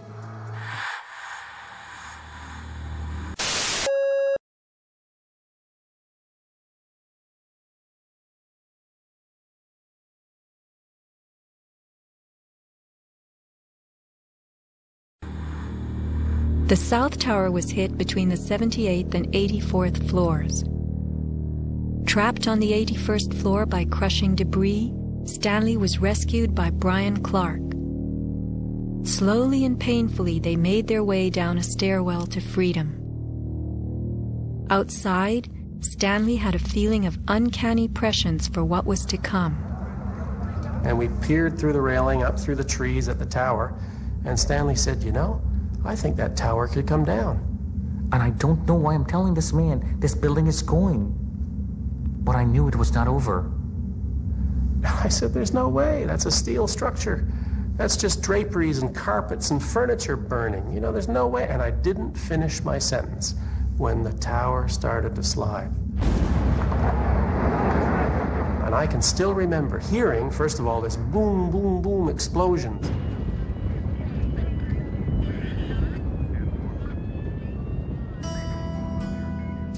Not all were blessed with intuition or foresight. Joseph Milanowycz reached his son Greg by cell phone. Greg at that time, um, I could tell by his voice, was scared. Uh, he said to me, uh, Dad, can you get in touch with someone and tell them that there's about 20 of us on the northeast corner of the 93rd floor. Greg had been about to leave the South Tower after the North Tower was attacked, but was told it was safer to return to his desk. A couple of times he said, why did I listen? Why did I listen? Who was a director in the company that provided electronic security for the World Trade Center and Washington's Dulles Airport, both involved in September 11th? None other than the president's younger brother. From 1996 to 2000, Securacom installed what was referred to as a new security system at the World Trade Center. Wirt D. Walker III, a cousin of the Bush brothers, was CEO of Securacom from 1999 until 2002. Interestingly, these facts have not been made public.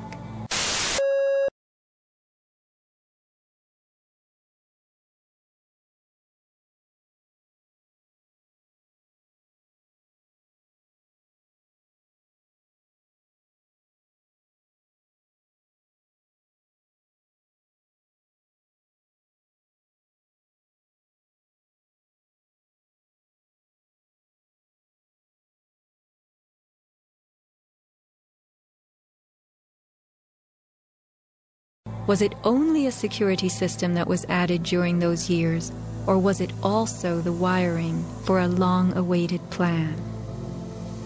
Scott Forbes, an IT specialist in a firm that had leased space in the South Tower since its erection, reported an unprecedented power down in his building for almost the whole weekend prior to 9 11. We were notified three weeks in advance of the power down by the Port Authority. That was relatively short notice to plan to shut down all of our banking systems. It was a big deal. It was, a, it was unprecedented. We had a data center on the 97th floor. So our originating servers were all there. During that weekend, the power down meant that there was no security. Uh, the doors were all open, basically. And also the security video cameras were all off. But they were guys in overalls carrying huge toolboxes and reels of cables walking around the building on that weekend. Employees were notified that internet cables were being upgraded. But who were the strange workmen and what were they really doing? All the power was shut down. If there was a power down, that meant that everything was uh, gone in terms of uh, security, in terms of uh, access to the building. So anybody could have gone there and do any kind of uh, setup.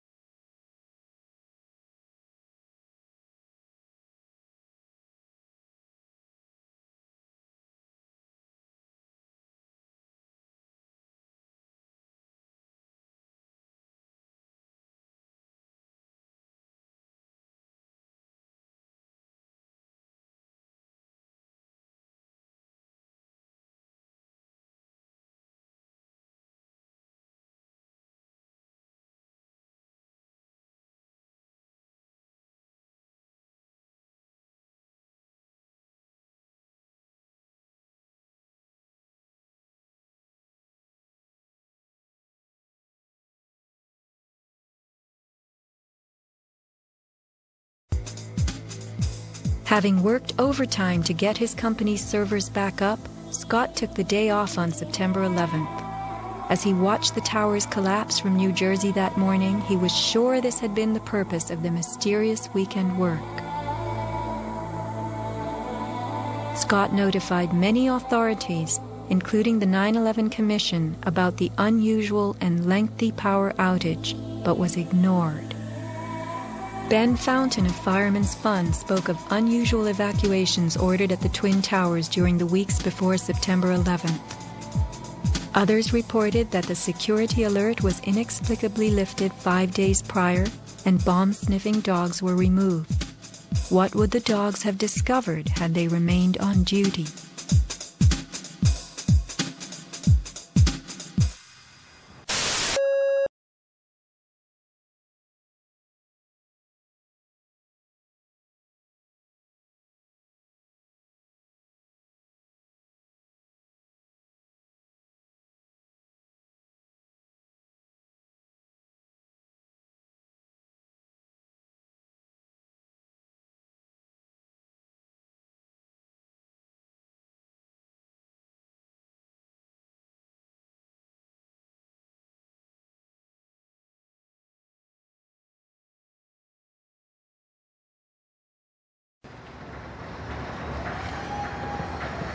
Not long after the disaster, lower Manhattan saw banners like this one.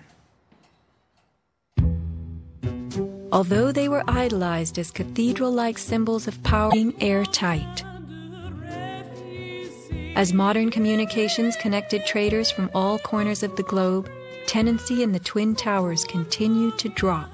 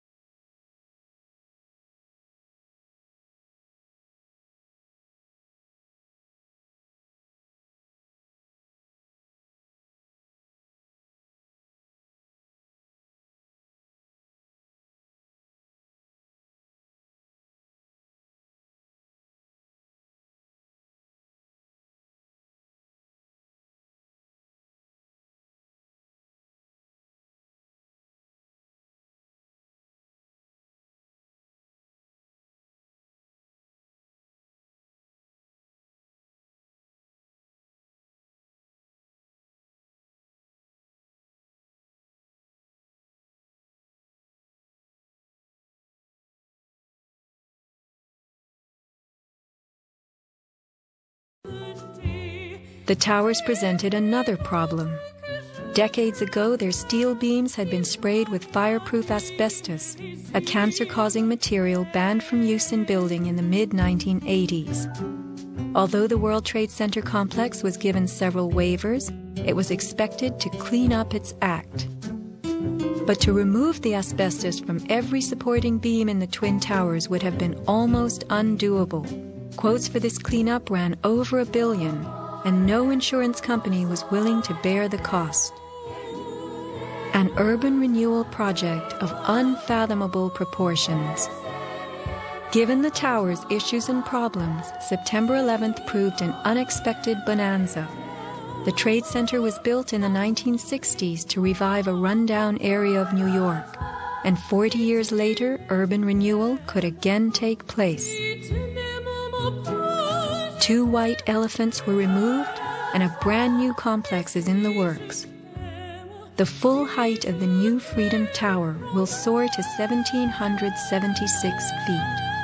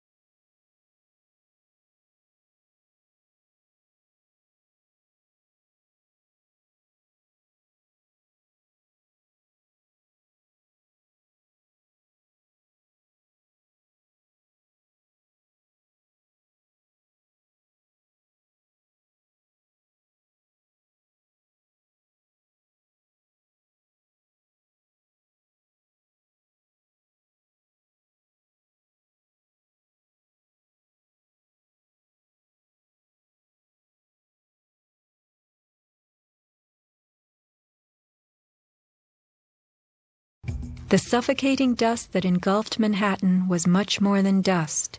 It was pulverized concrete, glass, metals containing lead, mercury, dioxins, benzene, and of course asbestos. None of that was healthy for any living thing. Today, thousands of rescue workers have developed lung cancer and serious permanent health conditions. And the rescue dogs continue to die. What you had was a ground-level municipal incinerator that smoldered for months, burning up the most heavily computerized building in the world.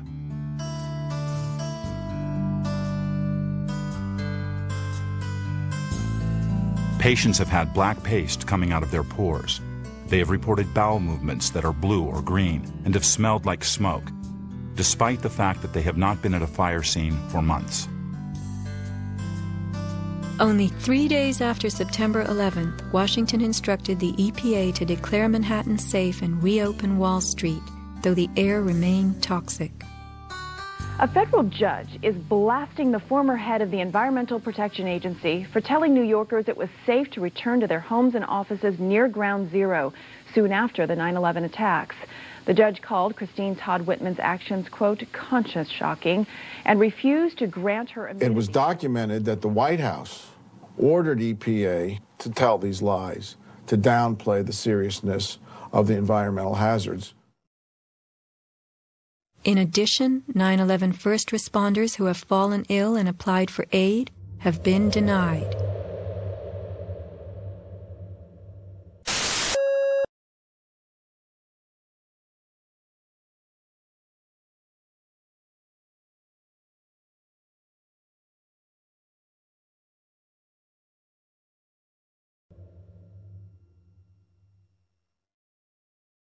Asbestos plays a part in the myth of why the Twin Towers fell on September 11th. The steel had been sprayed with a lightweight fireproof foam, which, while cheaper, was much less adhesive. The New York Times has reported that the foam fell off easily, and the Port Authority had been fixing and replacing missing sections in the months before September 11th. But even if the fireproofing had been perfectly applied, the impact of the plane crashing into the North Tower was so powerful, it simply blew most of it off, allowing the fire to attack the steel beneath. Once the planes hit, whatever condition it was in uh, before the fact, made no difference because an impact would knock it off and the fire would have devastating effects on the steel. One good smack from a jet plane and the puffs of asbestos are all blown off the steel. Would a few hundred doors slamming do the same thing? Here, the History Channel tells us how, due to poor fireproofing, flames swept through the pockets between floors. As much of the fireproofing had been dislodged on impact, the flames were attacking unprotected steel. When steel is not protected, the strength reduces very fast. When you get to about 1100 degrees Fahrenheit, uh, you lose about half the strength of the steel. The fire inside the towers may have reached temperatures of 2500 degrees Fahrenheit. The New York Times has reported what happened to those steel floor trusses then. The steel did heat up and it became softer and softer, almost like licorice. And eventually, all the steel had been weakened in this zone. 40 years ago, the steel used to build the World Trade Center was certified by Underwriters Laboratories, a global product compliance and public safety guardian. Let's hear a lone voice that spoke out from this enormous company. My name is Kevin Ryan, and I'm formerly a manager at Underwriters Laboratories. I was fired from my job five days after sending a letter to a government scientist at the NIST questioning the report that the NIST had recently released in October of 2004. I wrote this letter because I had serious questions about what I saw in the report. Those questions went back to September of 2001 when UL's CEO came to our location in South Bend. He told our entire staff that the World Trade Center steel had been certified by UL and he said that we should be proud of how long the buildings had stood. Over the next two years, I did some research and found some very disturbing facts, including that the steel had been disposed of in an unprecedented manner.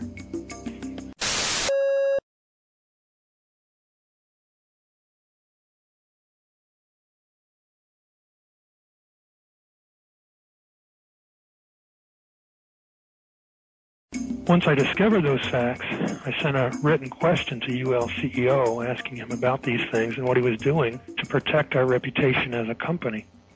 He replied in writing to me that UL did, in fact, test the steel. He talked about the quality of the sample and how well it had performed in the tests. And he said that our company had tested the steel and that it had done beautifully.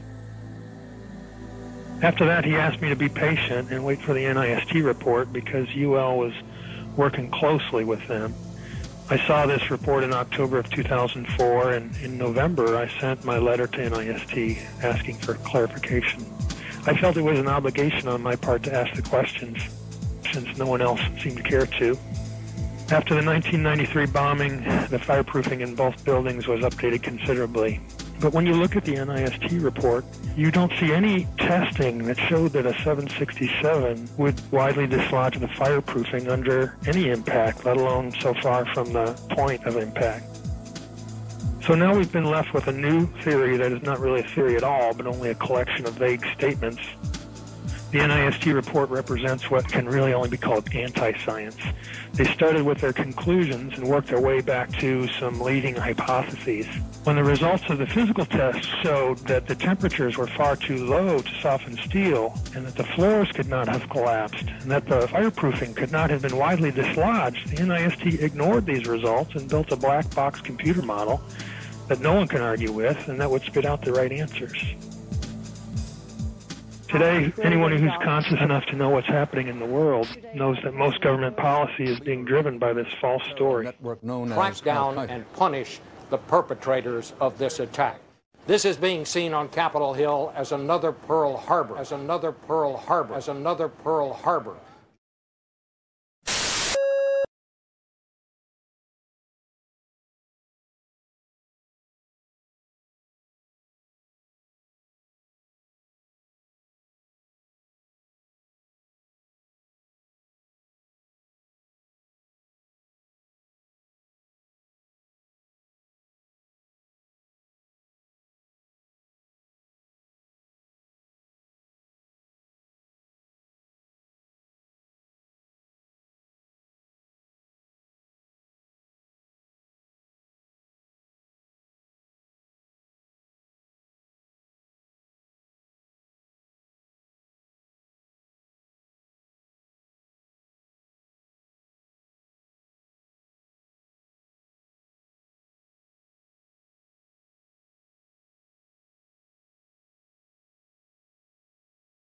The steel in dragon-like lengths and contortions spoke for itself.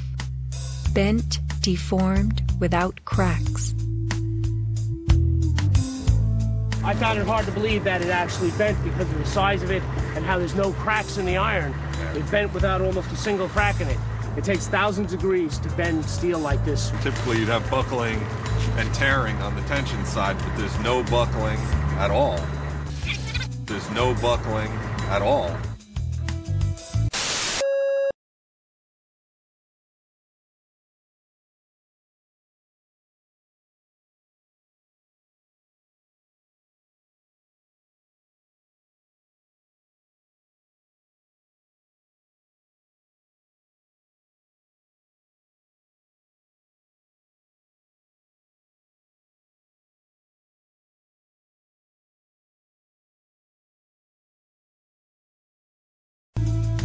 Here is the meteorite, molten iron fused with concrete.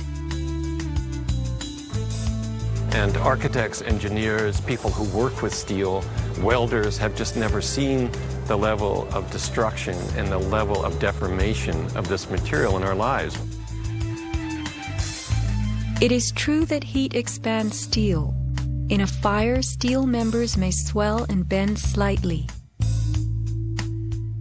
But this, how could these huge tangles have been created? The steel below the towers had melted at many thousands of degrees.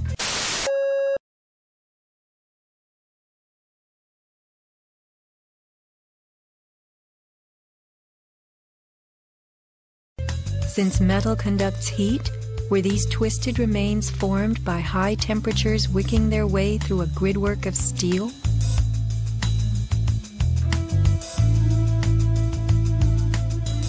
Explosives also deform steel. As they fire, gas pushes outward. The force of the gas can easily bend a large steel column.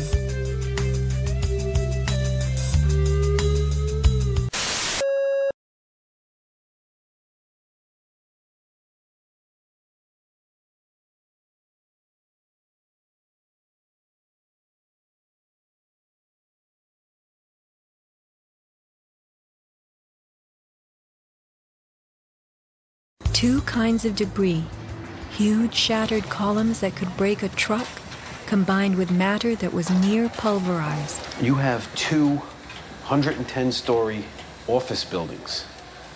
You don't find a desk. You don't find a chair. You don't find a telephone, a computer. The biggest piece of a telephone I found was half of the keypad, and it was about this big.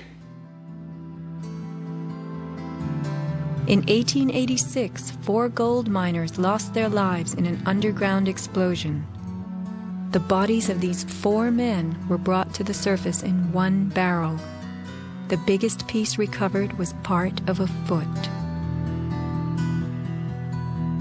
September 11th left over 1,100 bodies unaccounted for.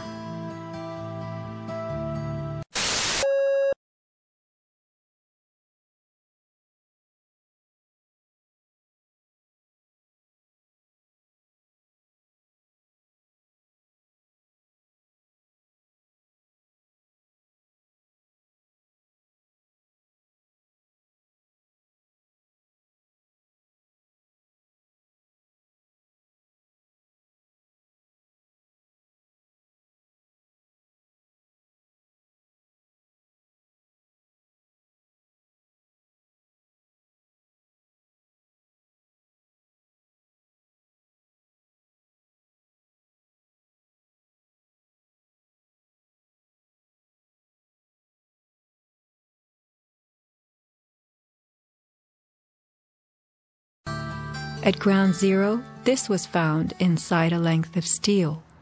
And before they sealed this up with the sheetrock and all the building materials on the interior face, the workers would sometimes put beer cans and the newspaper that we found, the New York Times paper, was we found in, in a similar spot to this.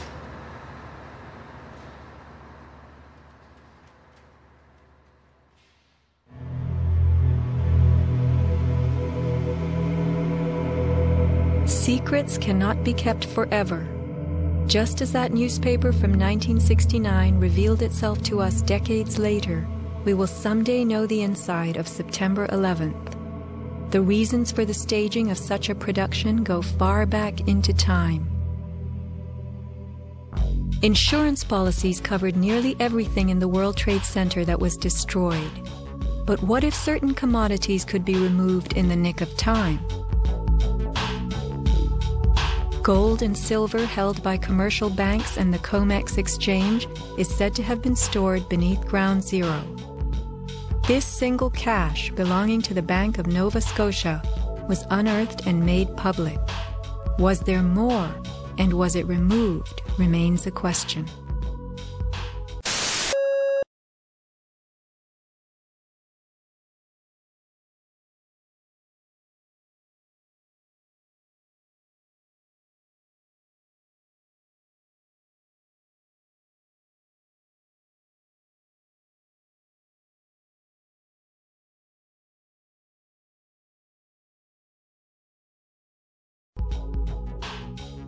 As last survivor William Rodriguez climbed the stairwell to rescue people, he remembers a very strange thing.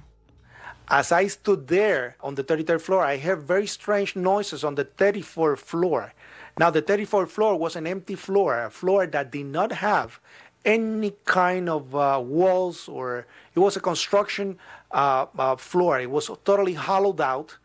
There was nothing there, and I heard very heavy equipment being moved around, and it sounded like uh, dumpsters with uh, uh, metal wheels being moved around. And I got scared because I knew it was an empty floor. Nobody was supposed to be there. As a matter of fact, not even the elevators stopped there. You have to have a special access key to open the door on the 34th floor. So to find that there was strange noises there, and I continue actually bypassing that floor because I didn't dare to open the door on the 34th floor.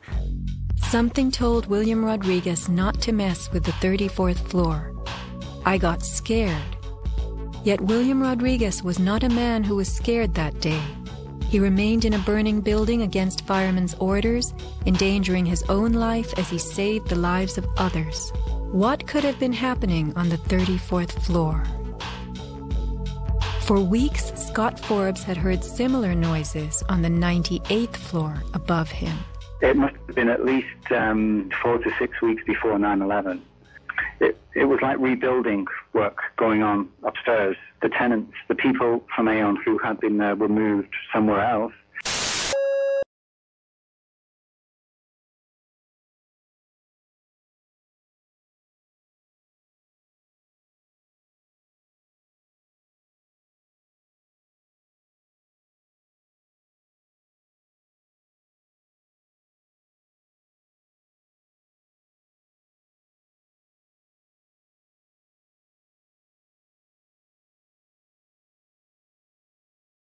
the offices were just vacant. And there was a lot of heavy machinery building work going on. It was almost like pneumatic drills and lots of hammering, so much so that the floors were shaking. That's how noticeable it was. It was almost as if uh, something heavy was being moved and then it was being taken off wheels and it was like boom. Our floor underneath literally shook. You could feel the weight above you. That was how large it was. On one occasion, I opened a door to see what was going on, being nosy. When I opened the door, the whole office space was empty. There was nothing there at all. It was quite bizarre because it was just empty. Completely empty, barren, nothing, zero. Not even cable tangling from the ceiling, but there'd been these heavy noises and vibrations up above. It was really strange.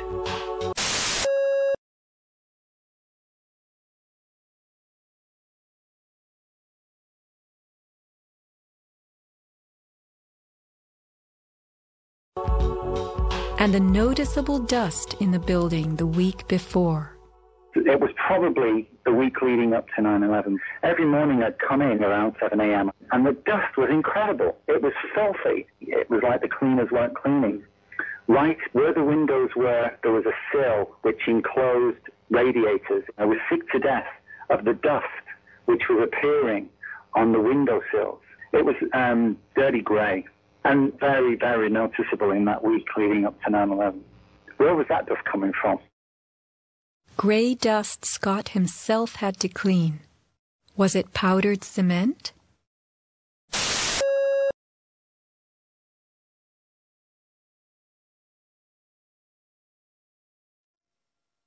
The steel columns of the Twin Towers formed an endo and exoskeleton.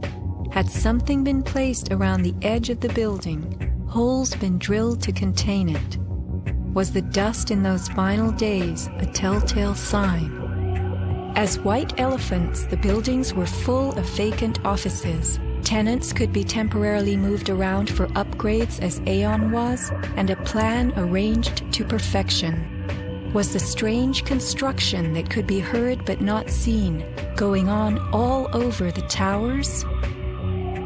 Larry Silverstein took possession six weeks before September 11th, when the strange construction began.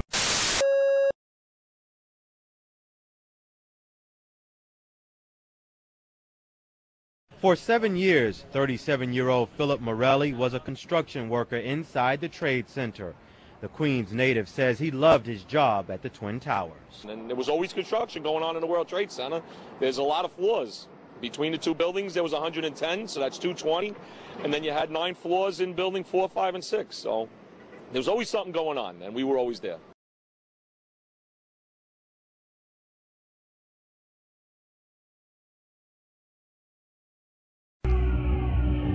Were the sounds that scared William Rodriguez the last of the rats as they left a sinking ship?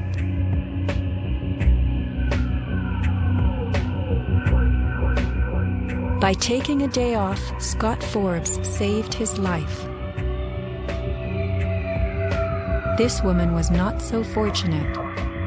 She is 9 11's Iphigenia, calling soundlessly to people who could not help her.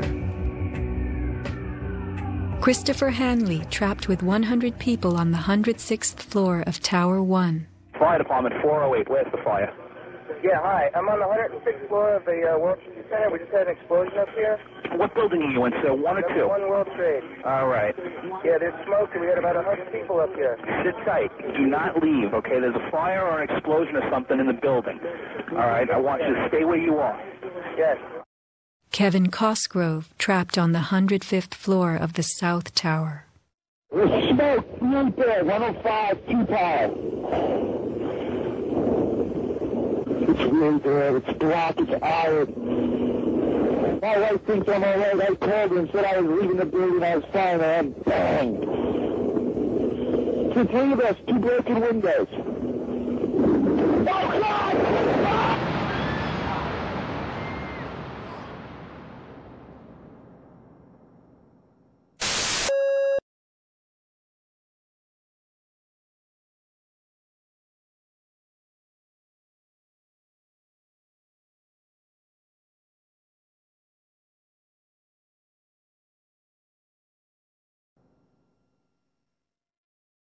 Let's not forget these people whose fate on this day was decided for them. As we know, secrets cannot be kept forever.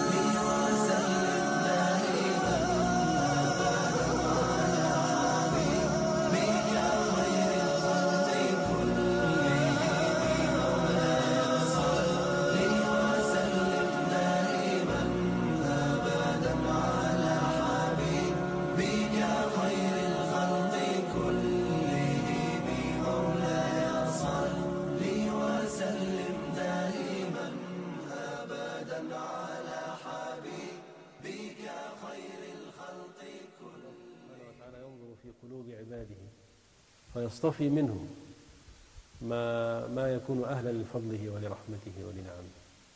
فهؤلاء الإخوة التسعة عشر الذين خرجوا وبذلوا وقدموا أرواحهم في سبيل الله من الله سبحانه وتعالى عليهم بهذا الفتح الذي نتمتع به نحن الآن. والناظر في أحوال هؤلاء الإخوة يرى أنه يعني لا مقارنة بين قوة تسعة عشر رجلا وبين قوة أمريكا.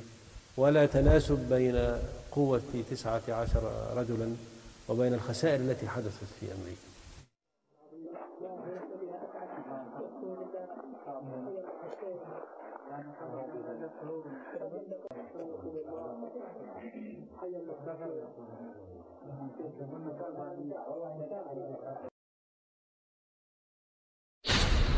ودع عنك الرقاد إنه الإسلام عاد في سبيل الله قد سرنا وأعلنا الجهاد. قم ودع عنك الرقاد إنه الإسلام عاد في سبيل الله قد سرنا وأعلنا الجهاد. قم ودع عنك الرقاد إنه الإسلام عاد في سبيل الله قد سرنا وأعلنا الجهاد. نحن بالرشاش عدنا. نملك اليوم القيادة. ومشينا صحوة الجيل جموعا وفرادا. نحن بالرشاش عدنا. نملك اليوم القيادة ومشينا صحوة الجيل جموعا وفرادا. ما عرفنا العيش إلا عنفوانا وجلادا.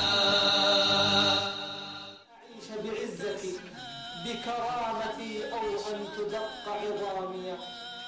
إلى أمتنا الإسلامية.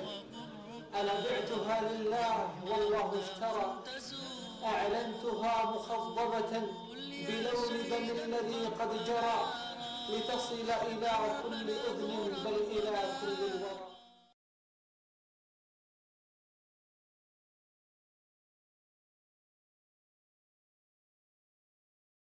فما وجدنا والله حلا لهذا ولا علاج بعد الرجوع إلى العلماء الصادقين من علماء الساحة وغيرهم. أمثال العلامة الشيخ حمود بن عقل الشعيبي والشيخ العلامة الفاضل عبد الله الجبري والشيخ الفاضل سليمان العلوان والشيخ حسن أيوب والشيخ محمد ابن محمد بن مختار الشنقيطي والشيخ أسامة بن لادن والشيخ أبو عمر السيف حفظه الله جميعا. ونفع الأمة بعلمهم إلا في القيام بالعمليات الاستشهادية ضد مصالح العدو وأبنائه وجنوده على جواز قتل النفس من أجل مصلحة ظهور الدين. فاختر لنفسك أي موت تريده. وختاما لوصيتي هذه أعيد ندائي أعيد ندائي إلى علماء الأمة ودعاتها. أعيد النداء إلى علماء الأمة ودعاتها. إلى الشباب الصالح الذي لم يحبسه العذر عن نصرة دينه والجهاد. أما أنا أما أنا فما رضيت والله حياة الذل كما رضيها غيري.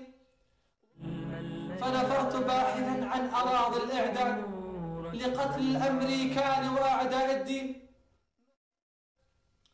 وما نسيت كذلك دماء إخواني في كشمير والفلبين ولا في بورما. ناهيك عما جرى على أرض البوزنة والهلسك وكوسوفا وغيرها كثير من بلاد المسلمين. والراعي الرسمي والراعي الرسمي والرئيسي لهذه المذابح الولايات المتحدة الأمريكية. ولكن عزائي الوحيد هو أن دين ربي لن ينتصر إلا بعد أن تسفك الدماء وتتطاير الأشلاء. سنخوض معاركنا معهم وسنمضي جموعا نردعهم ونعيد الحق المغتصب وبكل القوة ندفعهم. سنخوض معاركنا معهم وسنمضي جموعا نردعهم. ونعيد الحق المغتصب وبكل القوة ندفعهم وبكل القوة ندفعهم. بسلاح الحق البتار سنحرر أرض الأحرار ونعيد الطهر إلى القدس من بعد الذل وذا العار. بسلاح الحق البتار سنحرر أرض الأحرار ونعيد الطهر إلى القدس من بعد الذل وذا العار من بعد الذل وذا العار سنخوض معاركنا معهم وسنمضي جموعا نردعهم ونعيد الحق المغتصب وبكل القوة ندفعهم وبكل القوة ندفعهم. وسنمضي ندك معاقلهم بدوي دام يقلقهم. وسنمحو العار بأيديهم وبكل وآخر المطاف صلاة وسلام على سيد الأنبياء والمرسلين وعلى آله وصحبه أجمعين. وآخر دعوانا أن الحمد لله رب العالمين. ملقيه عبد العزيز ابن عبد الرحمن ابن محمد العمري الزهراني. عسى الله أن يغفر لنا ذنوبنا. المكنى بأبي العباس الجنوبي أفغانستان قندهار.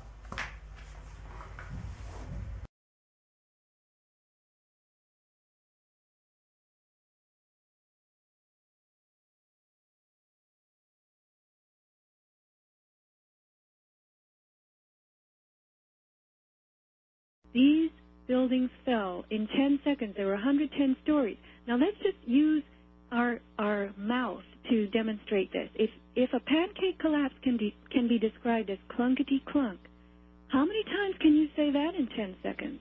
And if one floor is clunkety clunk, clunkety clunk, you cannot say this 110 times in 10 seconds. So let's even give it the benefit of the doubt. Let's just take off the clunk. Let's say clunkety. You can't say that in 10 seconds 110 times. No, you've done just an, such an excellent job of, of bringing that forward